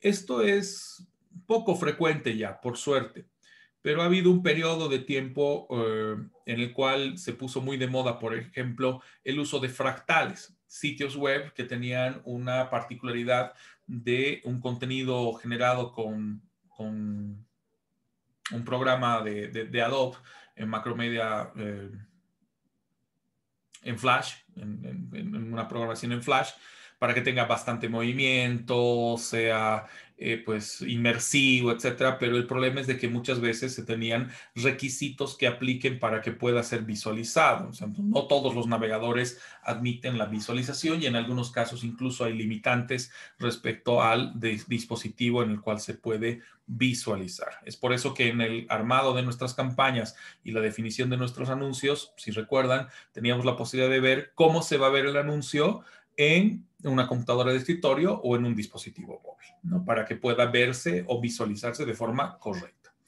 También están prohibidos y van a ser restringidos los anuncios que tengan por objeto dirigirnos a sitios donde se tenga bloqueado el botón de dar marcha atrás o que desaparezca de entrada todo el menú de la parte superior de nuestro navegador. Si eventualmente, porque solo podemos programar en un sitio, si eventualmente esto ocurre, Google va a bloquear ese anuncio porque va a estar observado, porque no le, no le da la eh, facilidad de navegación al usuario final de poder dar marcha atrás o en todo caso, pues el, el, hecho de que se tenga que desvincular del navegador, o sea, que tenga que cerrar su ventana de navegador, con la afectación que ello pudiera involucrar. Y en algunos casos incluso hasta se termina camuflando el botón de cerrar, ¿no? la X que está en la parte superior de la pantalla. Dentro de los requisitos técnicos, la cosa es muy concreta. Para que sea funcional, para que sea oportuno, como bien mencionaba, si nosotros vamos a hacer un anuncio cuadrado, tenemos que cumplir con los, el tamaño de píxeles, el el peso del archivo porque va acorde a las condiciones establecidas en la red display, en la red de partners de Google que ofrecen espacio dentro de sus sitios para albergar publicidad. De la misma forma, los formatos dentro de esos requisitos técnicos son establecidos y manejados por Google a través de una serie de tablas y requerimientos según hagamos un anuncio en carrusel, un anuncio con fotografías, un anuncio de video, etcétera, donde necesariamente tenemos que sujetarnos a los formatos previamente definidos por la plataforma. En ese sentido, por ejemplo, título, cuerpo del anuncio, límite de caracteres, tamaño de imagen y otros aspectos se convierten en los referentes de requisitos de formato dentro de lo que sí se admite como anuncios dentro de Google Ads. Y en todo caso, muchas veces Google termina restringiendo contenido cuando este no es apto para menores en anuncios que involucren imágenes, video y otros formatos que no sean de texto y es por eso que se sujeta también a una política específica cuando la publicidad o la campaña va a estar dirigida sobre todo a contenido para adultos, ¿no? De la misma forma a como acontece con Instagram y acontece con Facebook. Eso en cuanto a las plataformas. Incluso podríamos profundizar mucho más, como ven, es, es, un mundo. Realmente el tema de, de las reglas, términos y condiciones y políticas, porque podríamos profundizar en el tema de Twitter, que es una plataforma bien interesante. También podríamos ver LinkedIn y en suma cuánta red en particular. Antes de abordar normativa boliviana, de lo poco que hay, además, manifestar aquello, La particularidad de los términos y condiciones de uso de cada plataforma se convierte en el primer parámetro de regulación. Por lo tanto, ante el defecto de normativa boliviana, o sea, cuando la norma boliviana no contemple algún aspecto de lo que podemos hacer en redes, lo que debemos hacer es vincularnos inicialmente a términos y condiciones de uso, que se convierten en las reglas genéricas para cada plataforma. Si esos términos y condiciones, además, la plataforma ha definido una serie de políticas, estas también se integran a la reglamentación para el uso, a la regulación de cómo podemos usar y cómo no podemos usar los servicios de cada plataforma. Aparte de esas políticas, pueden existir incluso condiciones o requerimientos técnicos, como hemos visto en el caso de Google. Ese cúmulo entonces de estas tres situaciones, términos y condiciones de uso, políticas, y las condiciones o requerimientos técnicos se convierten en el parámetro que suple la falta de normativa en nuestro país. Ahora, donde sí se haya regulado, se suma a las tres anteriores, o sea, se suma a los términos, a las políticas y a las condiciones la normativa boliviana. Y en algunos casos se impone la normativa por encima de los términos y condiciones. ¿Por qué?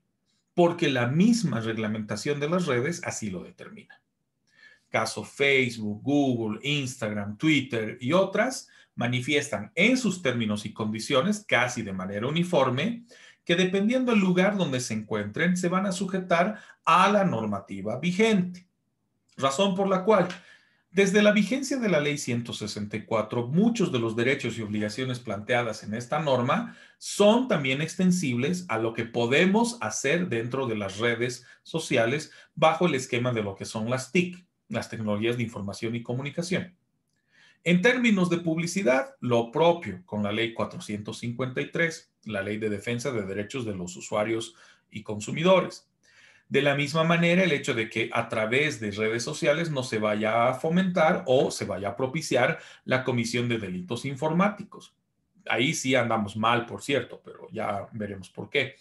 Y cuando, como resultado del contenido que se maneje dentro de redes, terminemos infringiendo normas como la ley contra todo tipo de discriminación, la ley 045, la ley de derechos de autor, la ley contra todo tipo de violencia, también los anteproyectos de ley de protección de datos, que por ahora son simplemente proyectos, o en suma, cualquier norma regulatoria que pueda ser eh, vinculada directa o indirectamente a lo que hacemos en redes. De manera genérica, algunos aspectos relevantes que debemos tomar en cuenta con relación a la ley 164, la ley de telecomunicaciones, va ligado a la validez jurídica de los documentos y firmas digitales, ¿no? tal como prevé el artículo 78 en particular. Todo acto o negocio jurídico que se realice, por lo tanto, a través de soportes digitales o de tecnologías de información y comunicación, donde incluimos obviamente a las redes sociales, y que además esté aprobado a través del mecanismo de firma digital, celebrado por cualquier medio electrónico tiene plena validez jurídica. Y aquí entra un pequeño detalle, eh, pequeño gran detalle. La incidencia de uso de firma en nuestro país es extremadamente incipiente. Si bien en el último año, en el 2020, por efecto de la pandemia, ha habido un incremento sustancial en el uso de firma, este no logra sobrepasar de un 10% de uso respecto a el tipo de actividades y el volumen total de actividades que se realiza en un plano de tecnologías de información y comunicación. no solo en redes, me refiero en general. Y respecto a lo que acontece en redes sociales, el porcentaje es mucho más bajo. Agencias o empresas, por ejemplo, que protejan su contenido en redes mediante mecanismos de firma digital que las fotos, videos y todo contenido digital que suban, peor si se trata de documentos, que suban a redes sociales, vaya o no protegida por firma digital. Muchas veces ni el 0,01% de ese tipo de actividad, a pesar de que esto ya se encuentra previsto en la ley 164 desde hace prácticamente 10 años atrás. Y eso es algo que eh, en alguna medida también compromete la propia actuación del Estado, que no ha difundido los aspectos relacionados a la validez de los documentos digitales y los contenidos digitales y los mecanismos de protección que brinda el uso de firma digital, ya sea para todo acto o desarrollo de negocios que tenga soporte digital o el mensaje electrónico de datos, que en este caso no solo hace alusión al correo electrónico, se divide tanto al email, o al correo electrónico, como también a los servicios de mensajería. Al hablar entonces de mensaje electrónico, involucra WhatsApp, Telegram, Signal, etc. Y siempre y cuando todo ello vaya aparejado a el uso o el empleo de firma digital. Si no se utiliza a través de los mecanismos validados por el Estado para poder otorgar este servicio de firma digital, que por cierto son pocos todavía en nuestro país, ADSIP, en el caso de la certificadora pública y quien nos puede otorgar el servicio de firma digital.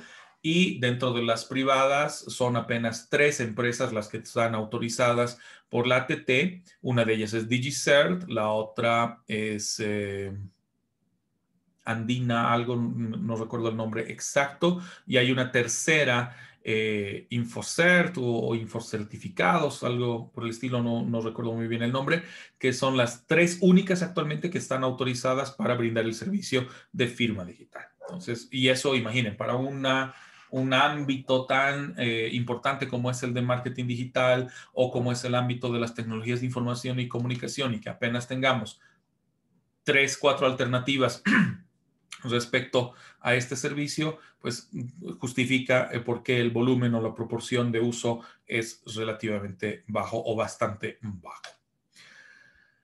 En lo que concierne entonces a la oferta electrónica de bienes y servicios, y ahí entra el tema de publicidad y que comúnmente se maneja a través de redes, formal e informalmente, acá la norma, la ley 164, plantea que tiene que cumplirse no solo con lo previsto en esta ley, sino también las normas y condiciones generales o las condiciones específicas que sean implementadas por otras disposiciones. Eso nos lleva inmediatamente a lo que es el código de comercio y nos genera un fuerte dolor de cabeza. ¿Por qué? Nuestro código de comercio data de 1975. Eso denota que la mayor parte de las actividades actuales que podemos hacer en redes para fines comerciales o empresariales no están ni siquiera previstas en la codificación comercial. Claro, por analogía, podemos trabajar dos criterios que sí están determinados en el Código de Comercio. Oferta y confirmación. entendiendo que lo que se publicita o lo que se anuncia a través de TICs o a través de redes sociales entra en lo, que involucra redes, eh, o mejor dicho, reglas de oferta previstas en el Código de Comercio. Toda oferta manifestada a través de los diferentes medios está sujeta a una condición de validez. La confirmación de parte del usuario, la confirmación de parte del cliente que ha tomado la oferta, que le ha generado esa expectativa y que a través de esa expectativa pretende eh, trabar la relación comercial, ¿no? llegar a formalizar la relación comercial.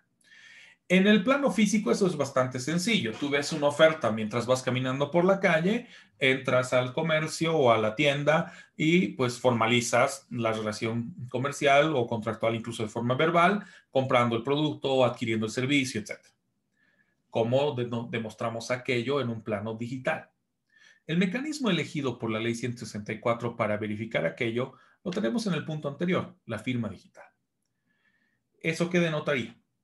Si eventualmente yo quisiera hacer una reclamación por un producto o servicio que en teoría he adquirido o por lo menos tenía que haber adquirido a través de una eh, publicidad, o sea, he tenido conocimiento de ese producto a través de una publicidad en redes, Facebook, Twitter, Instagram, etcétera, pero que lamentablemente no ha llegado a formalizarse, yo tengo que demostrarlo. Y para ello primero tengo que acreditar que existió la relación comercial que ha denotado la oferta y la confirmación correspondiente con relación a todo lo que me ha sido ofertado o todo lo que se ha pretendido generar como expectativa. ¿Cómo lo pruebo? ¿Cómo demuestro? Sobre todo si todo el contenido o la comunicación ha sido digital o electrónica. Ya, suponiendo de que esto ha ocurrido hace unos 3, 4 meses y a la verdad hasta ahora nadie me ha logrado pues cumplir con lo ofertado. Vamos con un ejemplo específico. Recurro a una empresa que publicita en Facebook o que traca publicidad incluso por Google Ads para traerme equipos de Estados Unidos. Y llevo ya dos, tres meses esperando que me los entreguen y hasta la fecha no me los entregan. Eh, si esto fuera en un plano físico, basta voy a la policía, los denuncio, voy al, al Viceministerio de Defensa del Consumidor. Pero en un plano digital, primero, ¿cómo demuestro que existe la relación entre partes. Ahí entra en juego lo que la ley 164 manifiesta como contratos electrónicos, entendiendo que las transacciones comerciales pueden refrendarse mediante cualquier documento digital siempre y cuando cumplan con las condiciones señaladas por ley. Volvemos a lo mismo. La condición primordial es de que tenga firma digital.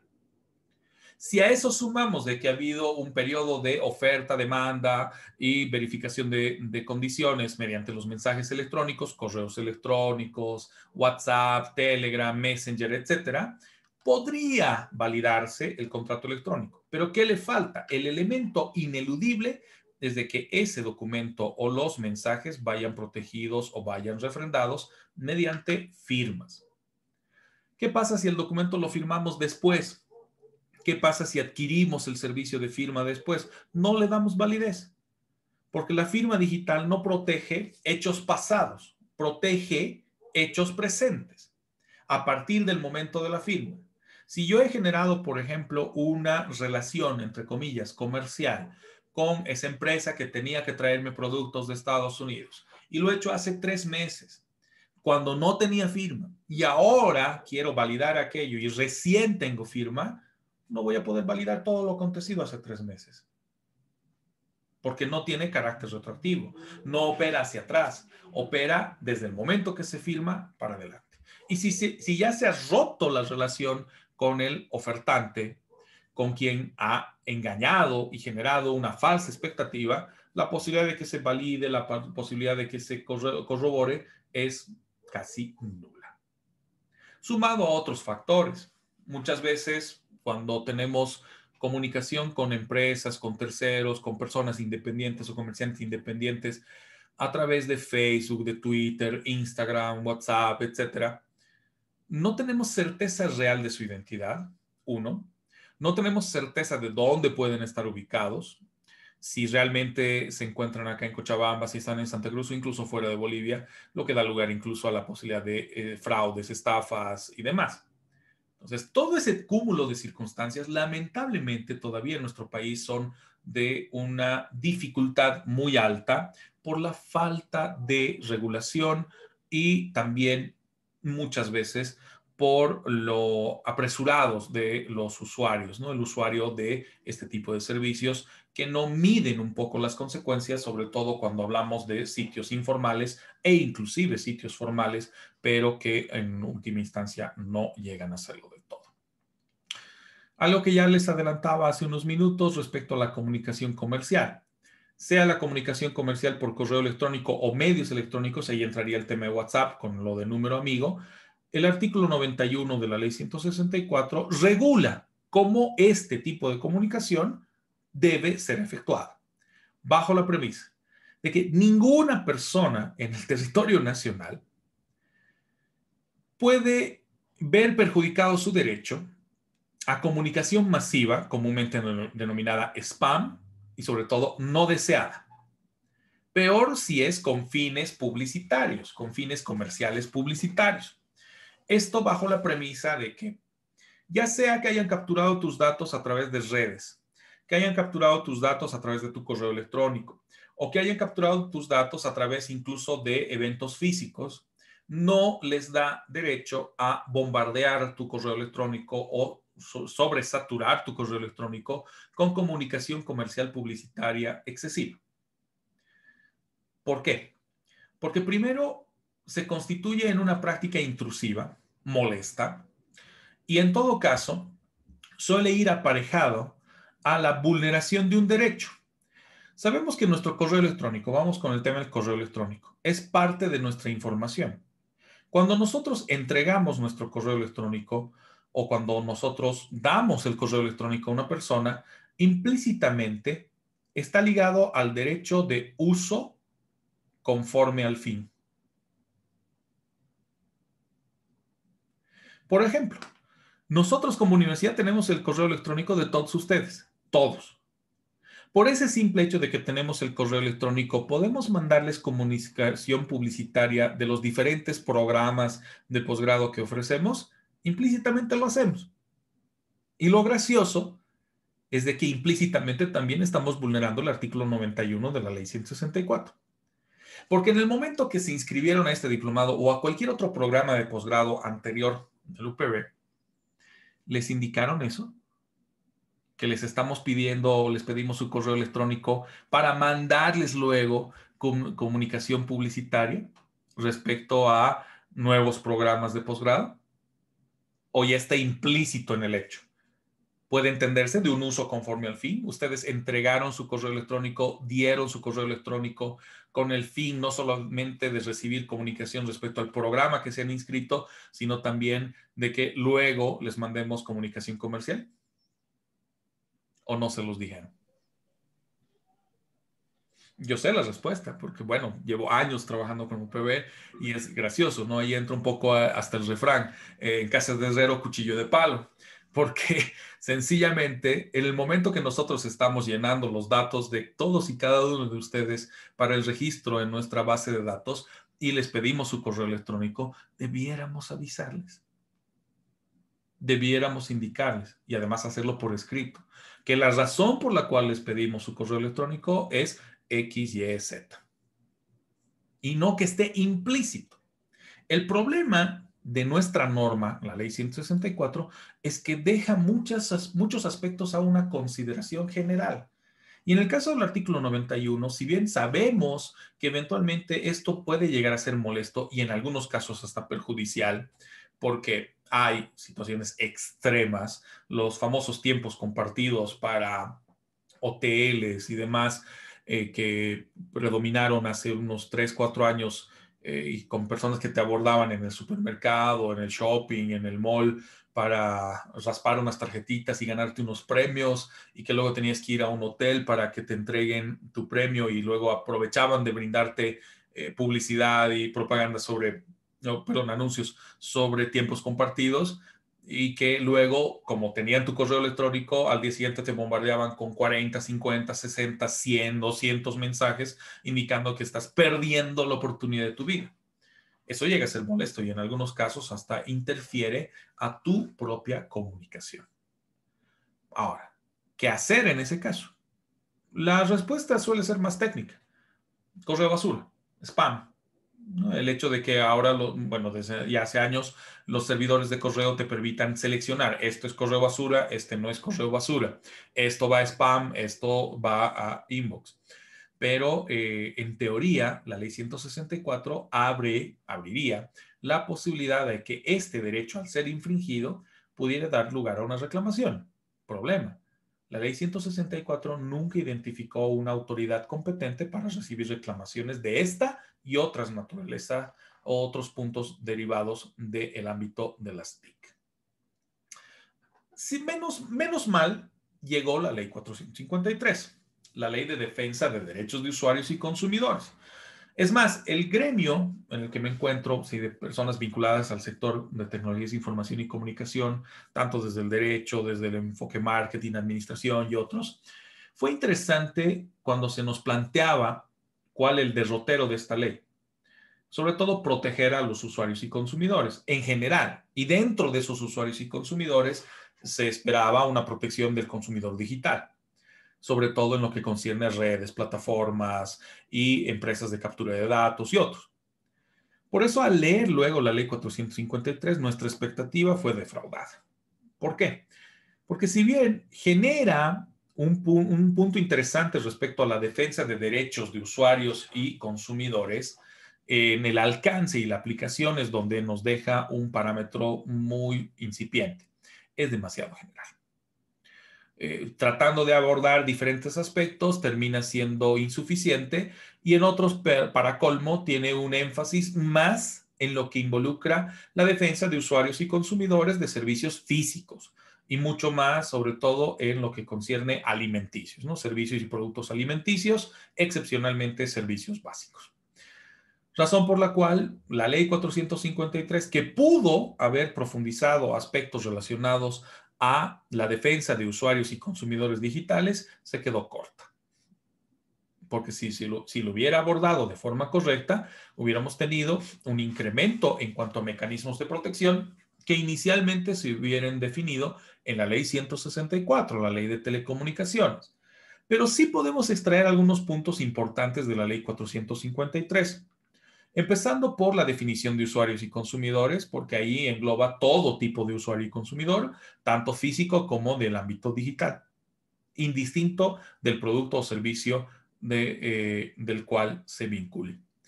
Lo propio en el caso de los proveedores, no solamente a lo que son productos y, eh, productos y servicios tradicionales, sino también productos y servicios no tradicionales como los que acontecen en el ámbito digital.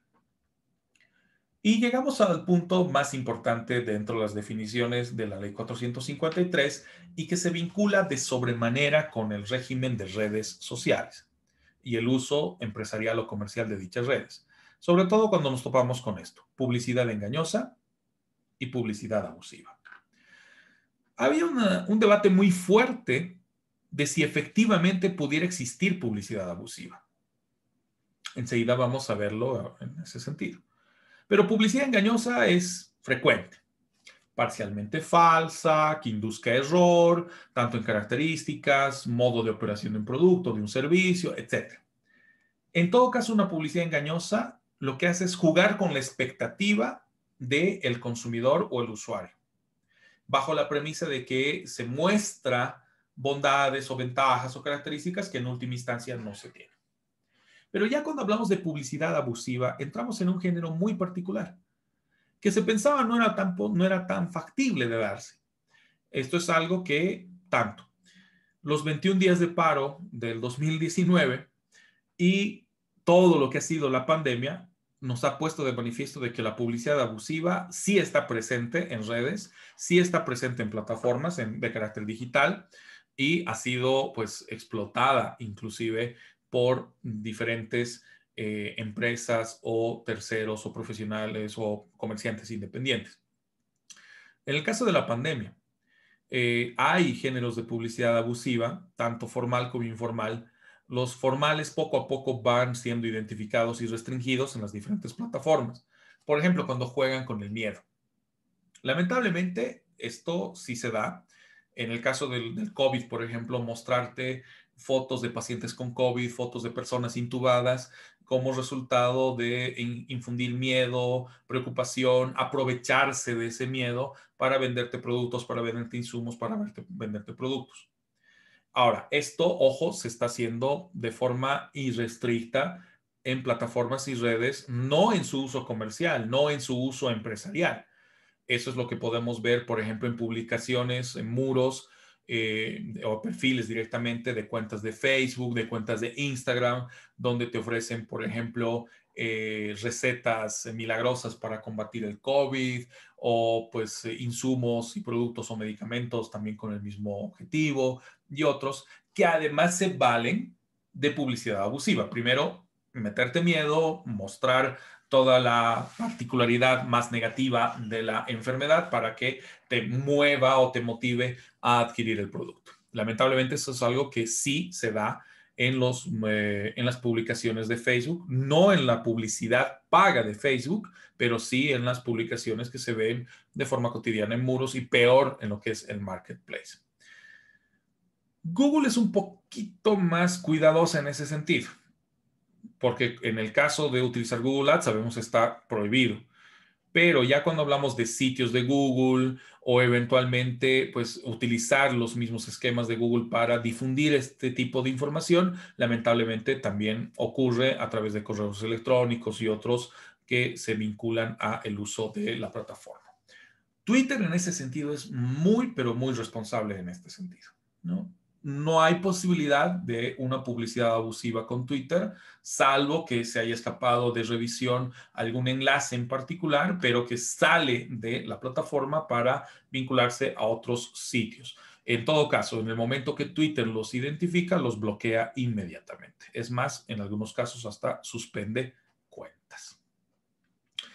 Para entender todo esto, tiene que cumplirse también lo previsto en el, artículo en el artículo 13 de la ley 453, el derecho a la información.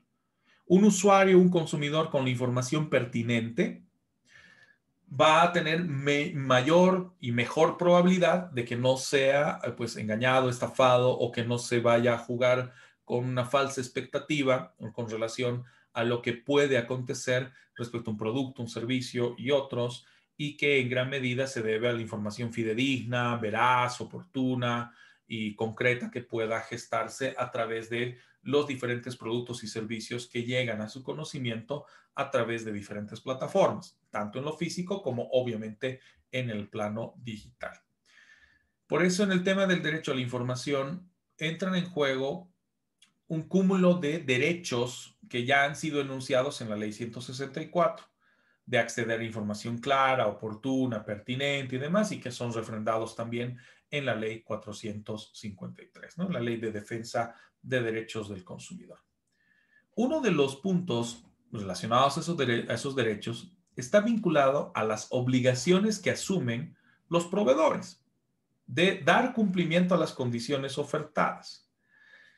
Esto, además, trae consigo la necesidad que la publicidad que se vaya a gestar a través de redes no solo dé cumplimiento a lo previsto en la ley 453 en la relación entre proveedor, usuario y consumidor, sino también a que las redes que permiten dicha publicidad sean también las responsables de verificar su cumplimiento.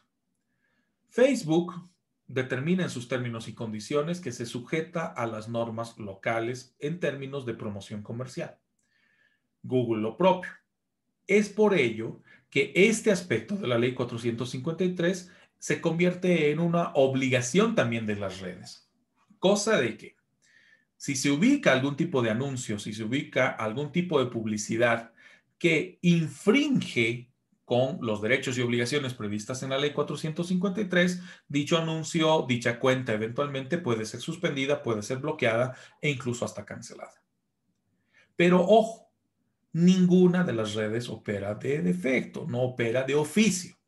Tiene que producirse primero la reclamación en base precisamente a la normativa correspondiente, procurando garantizar a los usuarios y consumidores que al, culminar su relación contractual, ya sea para productos o servicios, se hayan cumplido con todas las condiciones especificadas en el momento de los anuncios, en el momento de las campañas y obviamente también en el desarrollo comercial. Eso es lo poco que tenemos previsto en nuestra ley 453. Como ven, es una miseria. Si a eso sumamos también que de acuerdo a la reforma operada en 1998, hemos incorporado delitos informáticos a nuestro Código Penal, pero apenas dos categorías de delitos informáticos. El 363 bis de la manipulación informática, que vincula a la manipulación del procesamiento o transferencia de datos.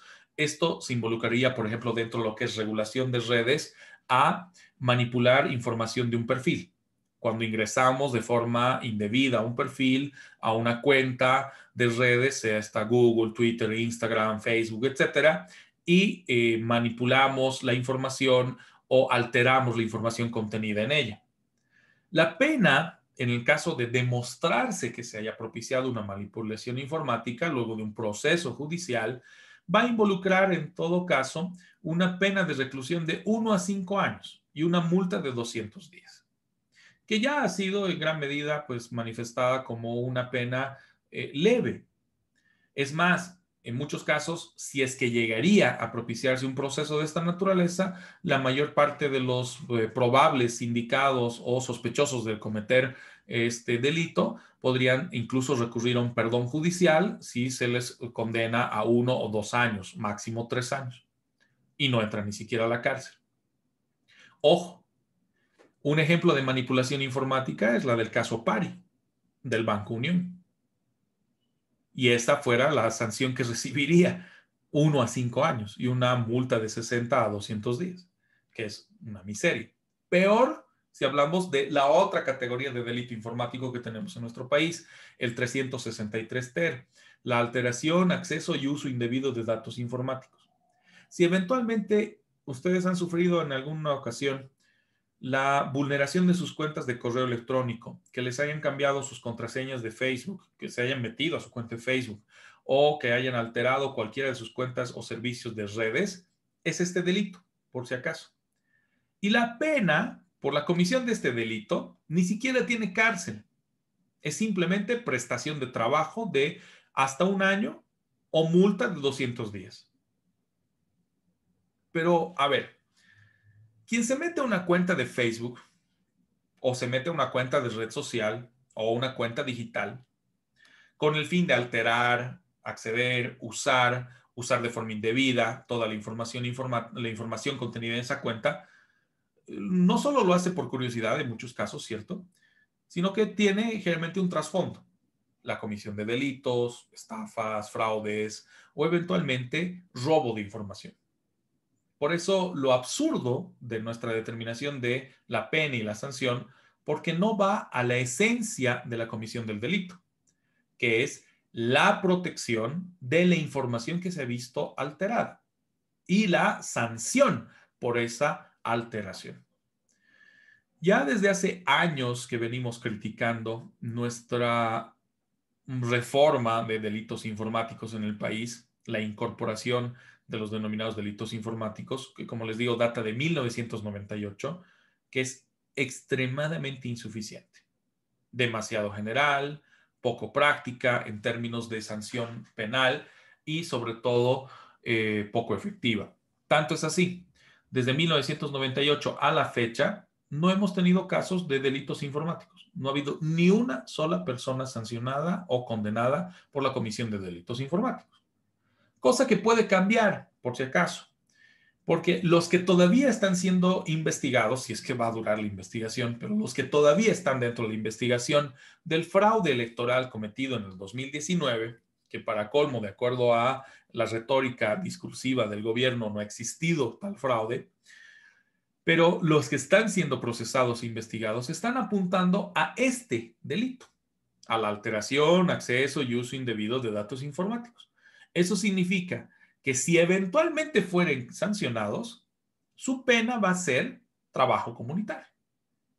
Los vamos a ver barriendo la puerta de la catedral o pintando paredes o en el plane, sembrando eh, plantines en la avenida Heroínas aquí en Cochabamba o sencillamente eh, van a pagar una multa de 200 días calculables, calculables sobre el salario mínimo nacional.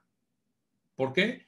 Porque nuestra determinación de delito informático es lo más absurdo que tenemos dentro de la normativa boliviana.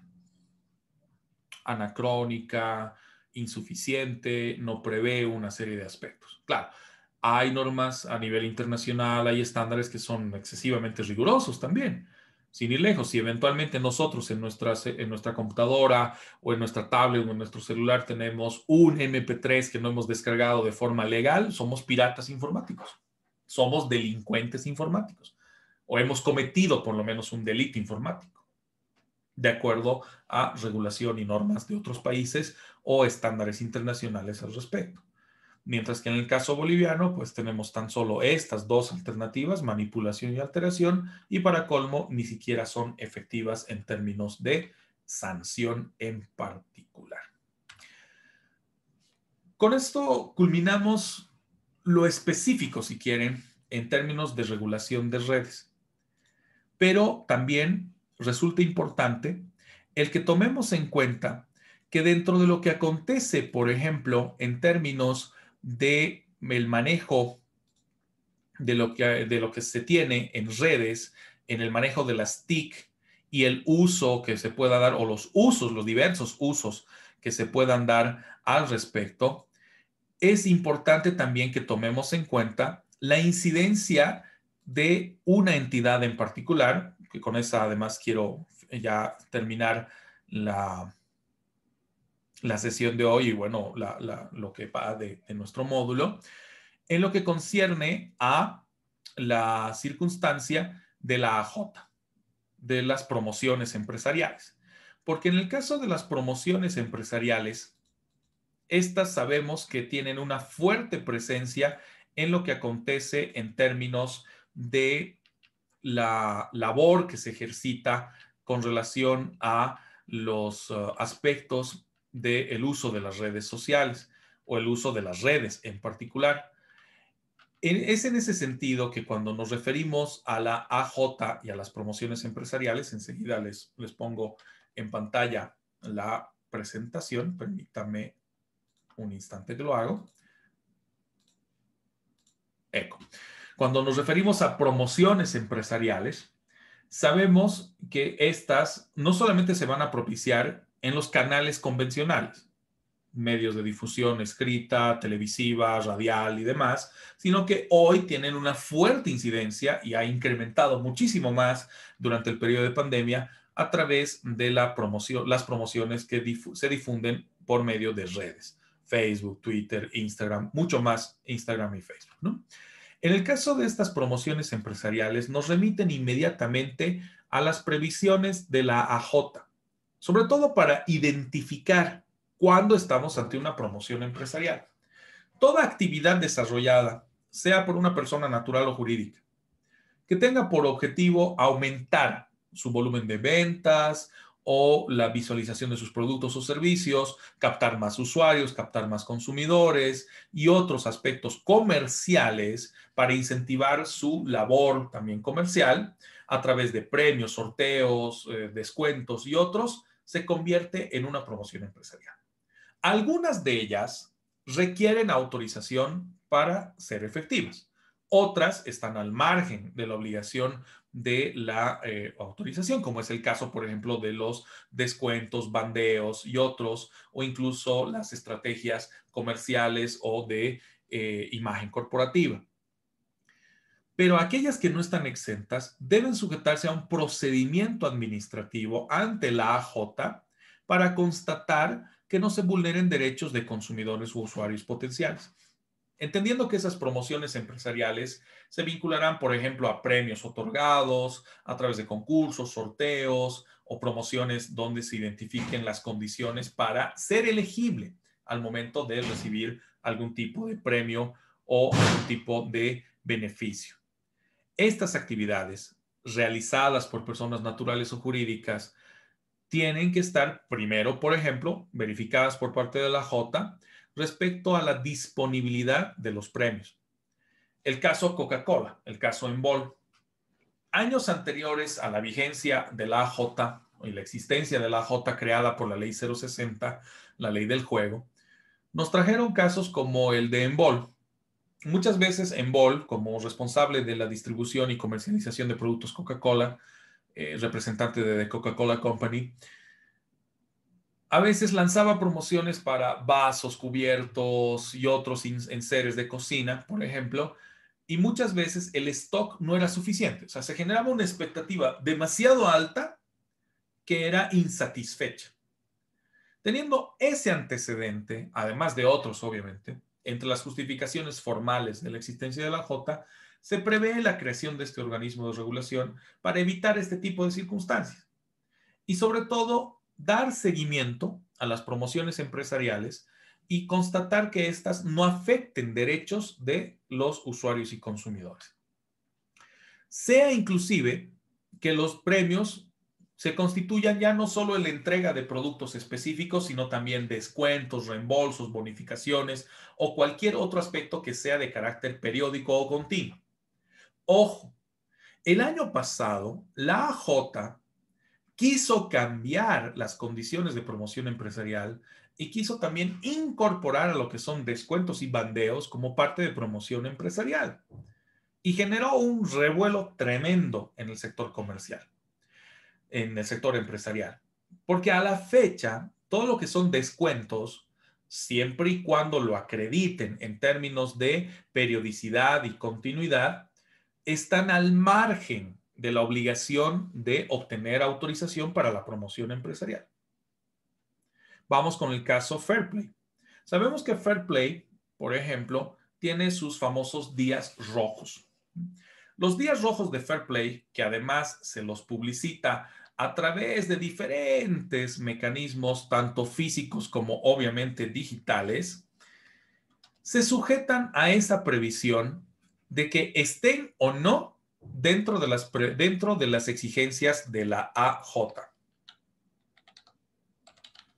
Bajo la premisa de que si no se sujetarían a dichas condiciones, pues dicha promoción empresarial o sus promociones empresariales serían en todo caso, pues eh, aspectos que incidan luego en el cobro de multas o en otras circunstancias en particular, bajo la premisa de que éstas van a infringir lo que denota el uso de este tipo de promociones ¿no? o estrategias comerciales.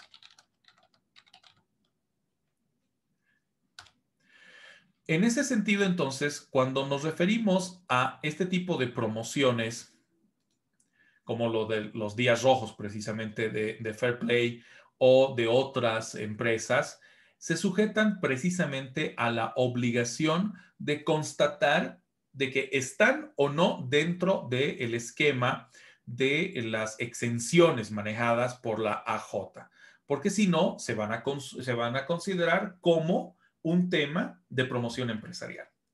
¿Cómo hace Fairplay? Fairplay le manifiesta a la AJ, ok, a lo largo de mi calendario comercial voy a tener tales fechas fijas voy a dar mi promoción de días rojos en la vuelta a clases. Voy a dar mi promoción de fair de días rojos en, en carnaval, Día del Niño, Día del Padre, Día de la Madre o Semana Santa, etc. Entonces yo ya tengo fechas establecidas, periódicas y continuas para poder estar al margen de la obligación de autorización. Es una promoción empresarial, pero no necesita ser autorizada.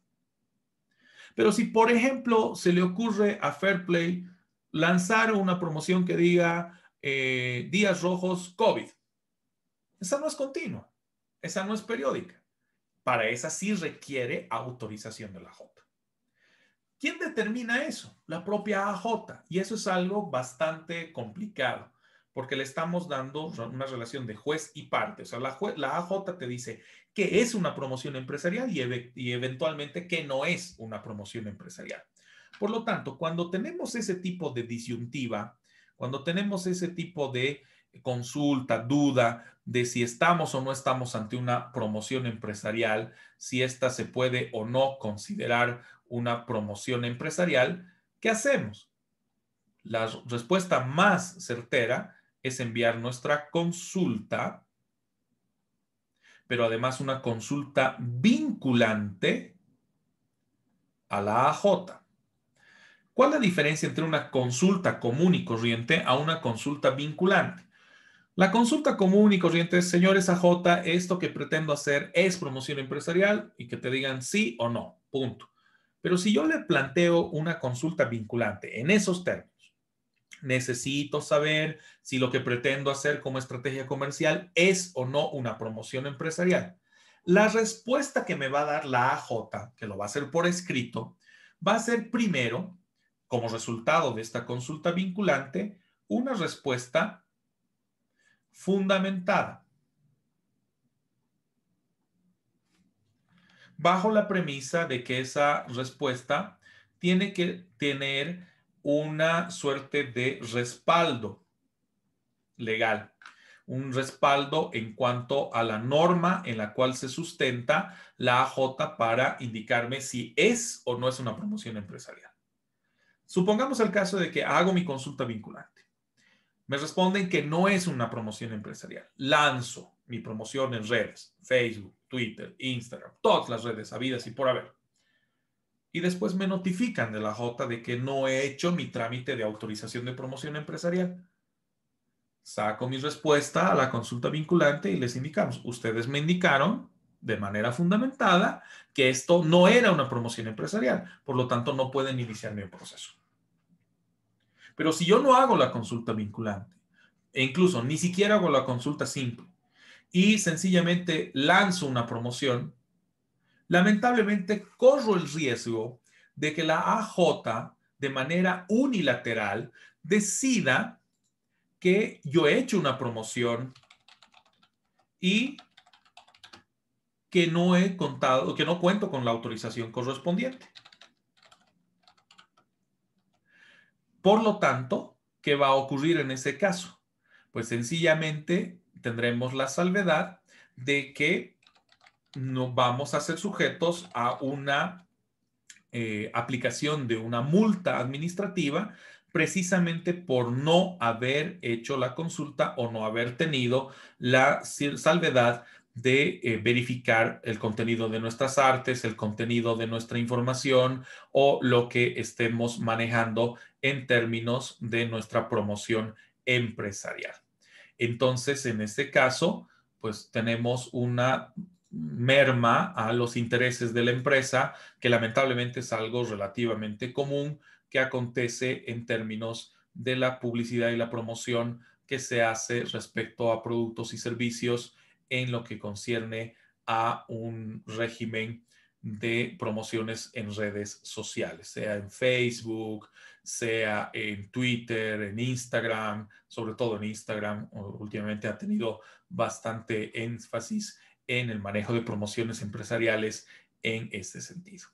Un ejemplo categórico de aquello, eh, una situación que tuvimos en la oficina hace unos dos años, precisamente como resultado de este diplomado. Eh, una ex eh, cursante del diplomado nos llama a la oficina unos tres, cuatro meses después de haber pasado este curso porque la AJ los notificó, era una empresa de bienes raíces, porque había incluido de forma indebida en una promoción eh, de un departamento, la venta de un departamento, que por la compra de ese departamento se iba a regalar una televisión de 54 pulgadas.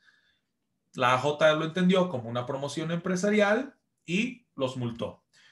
El hecho de no tener una promoción autorizada involucra una multa de cerca de unos 12 mil bolivianos más el 10% del valor del premio.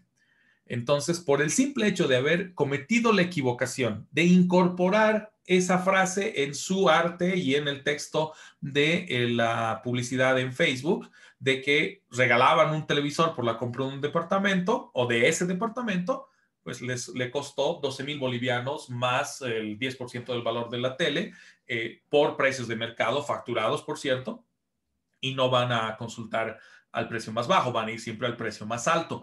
Eh, y que tuvo que ser cancelado pues en el lapso de tres días de acuerdo a la normativa. Lo, lamentable del caso es que la AJ, al descubrir esa promoción empresarial, que fue un error en realidad en la publicación en Facebook, eh, logró dar con siete otros errores o siete otras promociones empresariales en la página de Facebook de esta empresa inmobiliaria e le inició los otros siete procesos administrativos con la consecuencia negativa que ello involucra. Saquen el cálculo, 7 por 12 son en, este caso 84 mil bolivianos de multa por no haber hecho el trámite de promoción empresarial o no haber tenido cuidado en el manejo del texto para la promoción empresarial. El trámite es súper sencillo, por cierto. Antes era un tedio. A sacar una promoción empresarial te tomaba fácilmente unos cuatro o cinco meses con suerte. Hoy, sacar una promoción empresarial, cuando se, tiene toda la documentación de respaldo, cuando se tiene toda la información relevante, que eso puede hacerse en el lapso de, unos de unas dos a tres semanas, un mes en el peor de los escenarios, pero ya luego el trámite como tal se ha reducido de gran manera y mucho más durante el periodo de pandemia, porque, y todavía estamos bajo esa misma dinámica, porque el trámite se puede hacer casi en su totalidad en línea. No se ha eliminado lamentablemente todavía la salvedad de que tenemos que presentar los documentos de forma física, entre ellos, por ejemplo, el proyecto de desarrollo de promoción empresarial con los datos que vemos en pantalla, el nombre de la promoción, periodo de duración, modalidades, lugar y fecha de sorteo o juego, etc. A eso se suma el detalle de los premios ofertados, que va a ser muy particular según el tipo de premio que se vaya a ofrecer y el destino de los mismos. Tengo una consulta de Tatiana en el chat. Ok, ¿cómo con lo que te entiendo de la consulta, Tatiana, es cómo considera los casos como promociones empresariales? La J tiene una reglamentación vigente, eh, que es una resolución administrativa donde detalla qué circunstancias de lo que son estrategias comerciales son consideradas promociones empresariales y cuáles están al margen. El año pasado, como les decía hace unos minutos, se, propuso, se propició un escenario bastante negativo. Realmente no sabemos qué le pasó a la J para plantearlo, pero querían ampliar esta circunstancia ¿no? dentro de lo que se determina como promoción empresarial.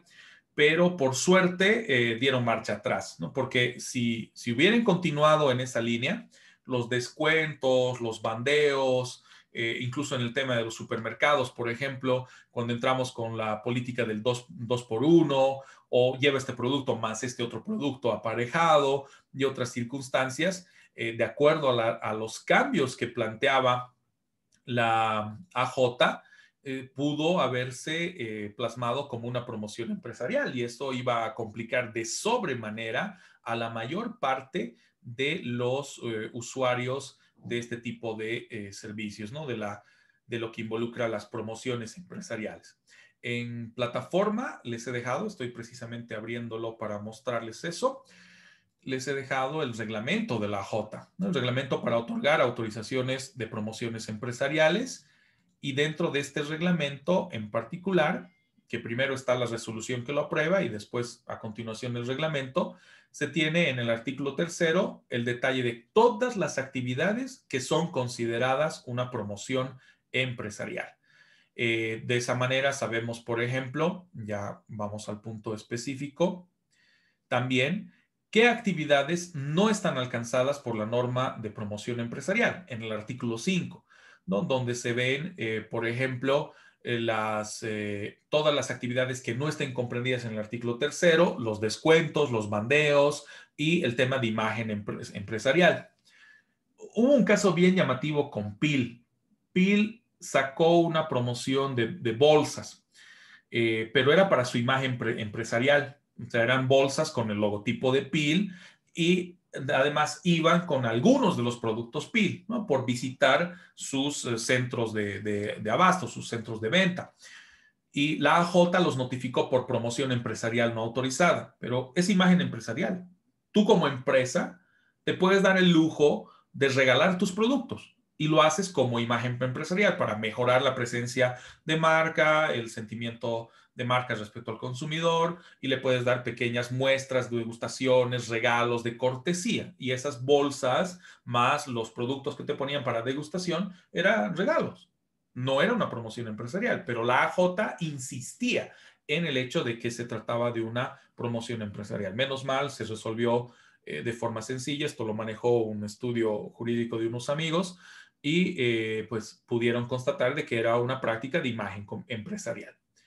El año pasado, estas dos, descuento, bandeo, se pretendían incorporar como promociones y ya que no, que no estén ya al margen de lo previsto en la ley cero, en la resolución, perdón, de la AJ. Y va a ser un tremendo relajo como resultado de, los, de, los, de las estrategias que se han empleado durante la pandemia.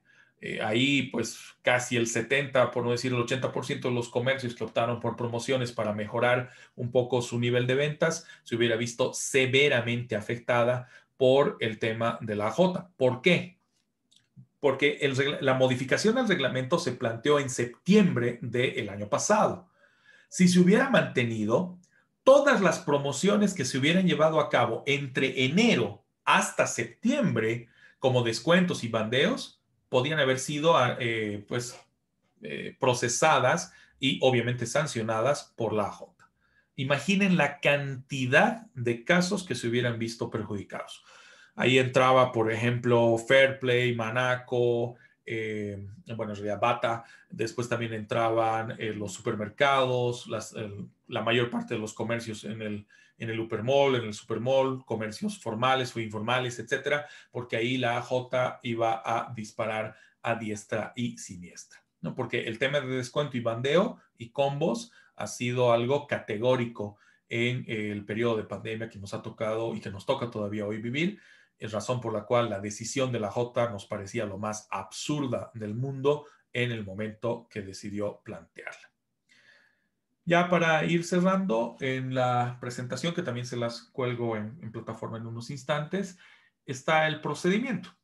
Este procedimiento ha mejorado significativamente, bajo la premisa de que ahora, y también les estoy dejando el reglamento, eh, podemos iniciar todo el trámite a través del CIAG.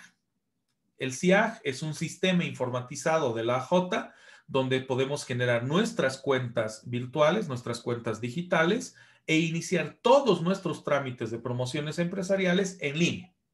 El problema es de que luego tendremos que refrendar mediante la presentación física de nuestros documentos, pero ya podemos adelantar mandando un escaneado o una eh, más que fotografía, nos piden que sea escaneado los documentos exigidos para la promoción empresarial escritura de constitución de nuestra empresa, si somos una empresa formal, el, testimonio de poder del representante legal, nuestro proyecto de promoción empresarial y ya con eso adjuntar la propia solicitud para que pueda verificarse que nuestra eh, promoción empresarial sea debidamente autorizada, la que luego va a ser revisada por parte de los departamentos legal y administrativo de la J podemos hacerle modificaciones a nuestra promoción empresarial antes de que se eh, difunda al mercado. Y se tiene que consumir, eh, se tiene que comunicar, perdón, a los consumidores todas las modificaciones que podamos hacer a la promoción. Nuevamente, Coca-Cola en Bol tuvo esa exigencia el año pasado porque lanzaron una promoción empresarial entre febrero, marzo, antes de la pandemia, y lamentablemente los plazos se vieron afectados por la cuarentena razón por la cual les tocó hacer modificaciones. Fue un caso muy sui generis porque sobrepasaron los 90 días desde la autorización y en gran medida la J eh, no quería admitir esas modificaciones y quería multar a Envol, pero no era su culpa. Estábamos dentro de un parámetro de cuarentena, tanto dinámica como después rígida. Por eso se terminó autorizando las modificaciones, se las incluyeron en la promoción empresarial se puede hacer reducciones también, pero eso sí, antes de que la promoción empresarial haya sido difundida a través de redes o los diferentes mecanismos. ¿Cómo sabemos que hemos logrado obtener la autorización? Se va a emitir una resolución donde se manifiesta de forma expresa si nos aceptan o nos rechazan la solicitud. mediante los informes técnicos y legales que nos brindan dicho soporte. De esta manera tenemos tres alternativas. Que se autorice nuestra promoción, que se rechace la promoción o que se rechace in limine. En el último caso significa que por más de que hagamos cambios, esa promoción no va a ser autorizada porque hay incumplimiento de requisitos ineludibles. El rechazo a secas involucra que la promoción tiene algunos defectos. Se puede todavía corregir. Y si se autoriza, ya podemos difundir a través de los diferentes medios de los cuales disponemos para la promoción empresarial, ¿no? Para dar a conocer la promoción empresarial en cuestión. Con eso culminaríamos todo el contenido previsto para esta parte del módulo. Ya luego van a complementar bastante con Jorge, ya en la parte práctica con el manejo de Community Management. Tengo una consulta en Kimberly. Eh, la pregunta es si aplica para algún tamaño de empresa. Mm, no, aplica para todos, incluso profesionales independientes. Puede ser una persona natural, comerciante, obviamente, o puede ser una empresa formal, mm, grande, mediana, pequeña, micro, etcétera. Es indistinto. Eh, si en la, en la percepción de la AJ se trata de una promoción empresarial, va a pues iniciar los procesos correspondientes. En los únicos casos en los cuales pueden estar al margen de la condición de promoción empresarial es cuando nos referimos al régimen simplificado, cuando estamos hablando de tiendas de barrio, eh, pequeños eh, productores urbanos rurales, o estamos hablando de eh, comerciantes vivanderos, etc. Pero ya cuando hablamos de un escenario levemente formal, por más de que el comerciante no haya formalizado su condición, pues ahí sí está alcanzada por la AJ. Incluso en el proyecto de cambio de su reglamento el año pasado, estaba con la intención de que se regulen promociones en Marketplace de Facebook. O sea, si tú hacías ventas por Facebook o haces ventas por Facebook a través del Marketplace, y, ofrecías, ¿no? Por decir, por este mes, dos por uno, tres por uno, la J te podía haber indicado por periodicidad, verificando cuántas veces has hecho promociones de esta naturaleza o ofertas de esta naturaleza y que estás camuflando una actividad comercial masiva como si se tratara de una venta, pues, eh, informal o esporádica. ¿no? Esa era la intención de la J el año pasado. Gracias. Con todo gusto, Kimberly. Bueno, para ir cerrando ya eh, este punto de regulación de redes que han podido ver que es bastante extenso, algo tedioso inclusive, repetitivo en muchos aspectos porque hay un estándar, si quiere, en cuanto a redes. Por eso manejando lo que se establece en Facebook y manejando lo que se establece en Google, el resto ya resulta conexo, ¿no? Es, es más fácil de comprender y a eso sumamos luego la normativa boliviana, la poca e incipiente normativa boliviana, que en algún momento será ya de mayor eh, envergadura o mayor eh, beneficio en cuanto a su determinación. Para finalizar entonces esta parte del módulo que llevan conmigo, quedan dos, dos casos más que ya están habilitados también en plataforma para que los puedan resolver junto a los tres anteriores, si es que todavía no los han resuelto del todo o quieran mejorarlos. Y el plazo de entrega de estos casos de forma individual es hasta el eh, subsiguiente domingo, de este el siguiente domingo. Eso significaría hasta el 7 de febrero. Cosa de que puedan disponer del tiempo suficiente y que no se mezcle con las actividades que luego también les pedirá Jorge García en el complemento eh, de este módulo con Community Management. ¿Vale? Cualquier duda, cualquier consulta, siéntanse libres de escribirme por WhatsApp. Está, está el grupo, tiene mi número también para cualquier eventualidad, eh, sobre todo de los últimos dos casos eh, que queda por responder todavía. Muchas gracias a todos. No sé si tienen alguna duda o consulta final antes de que cerremos esta sesión. Sí, yo tengo una consulta, Oscar. Eh, la presentación de la resolución de casos, ¿cómo la hacemos en un archivo Word? Eh, ¿En un documento puede estar, pueden estar los cinco casos? O, ya, Pueden manejarlo en un solo documento, los cinco casos, puede ser en un archivo Word, en un archivo PDF o en un PowerPoint, como ustedes vean conveniente. Eh, lo importante es de que preferentemente estén los, los cinco casos resueltos en un mismo archivo. Excelente, gracias. No hay de qué. Perfecto, con eso culminaríamos esta parte, bueno, de, las sesiones de Zoom.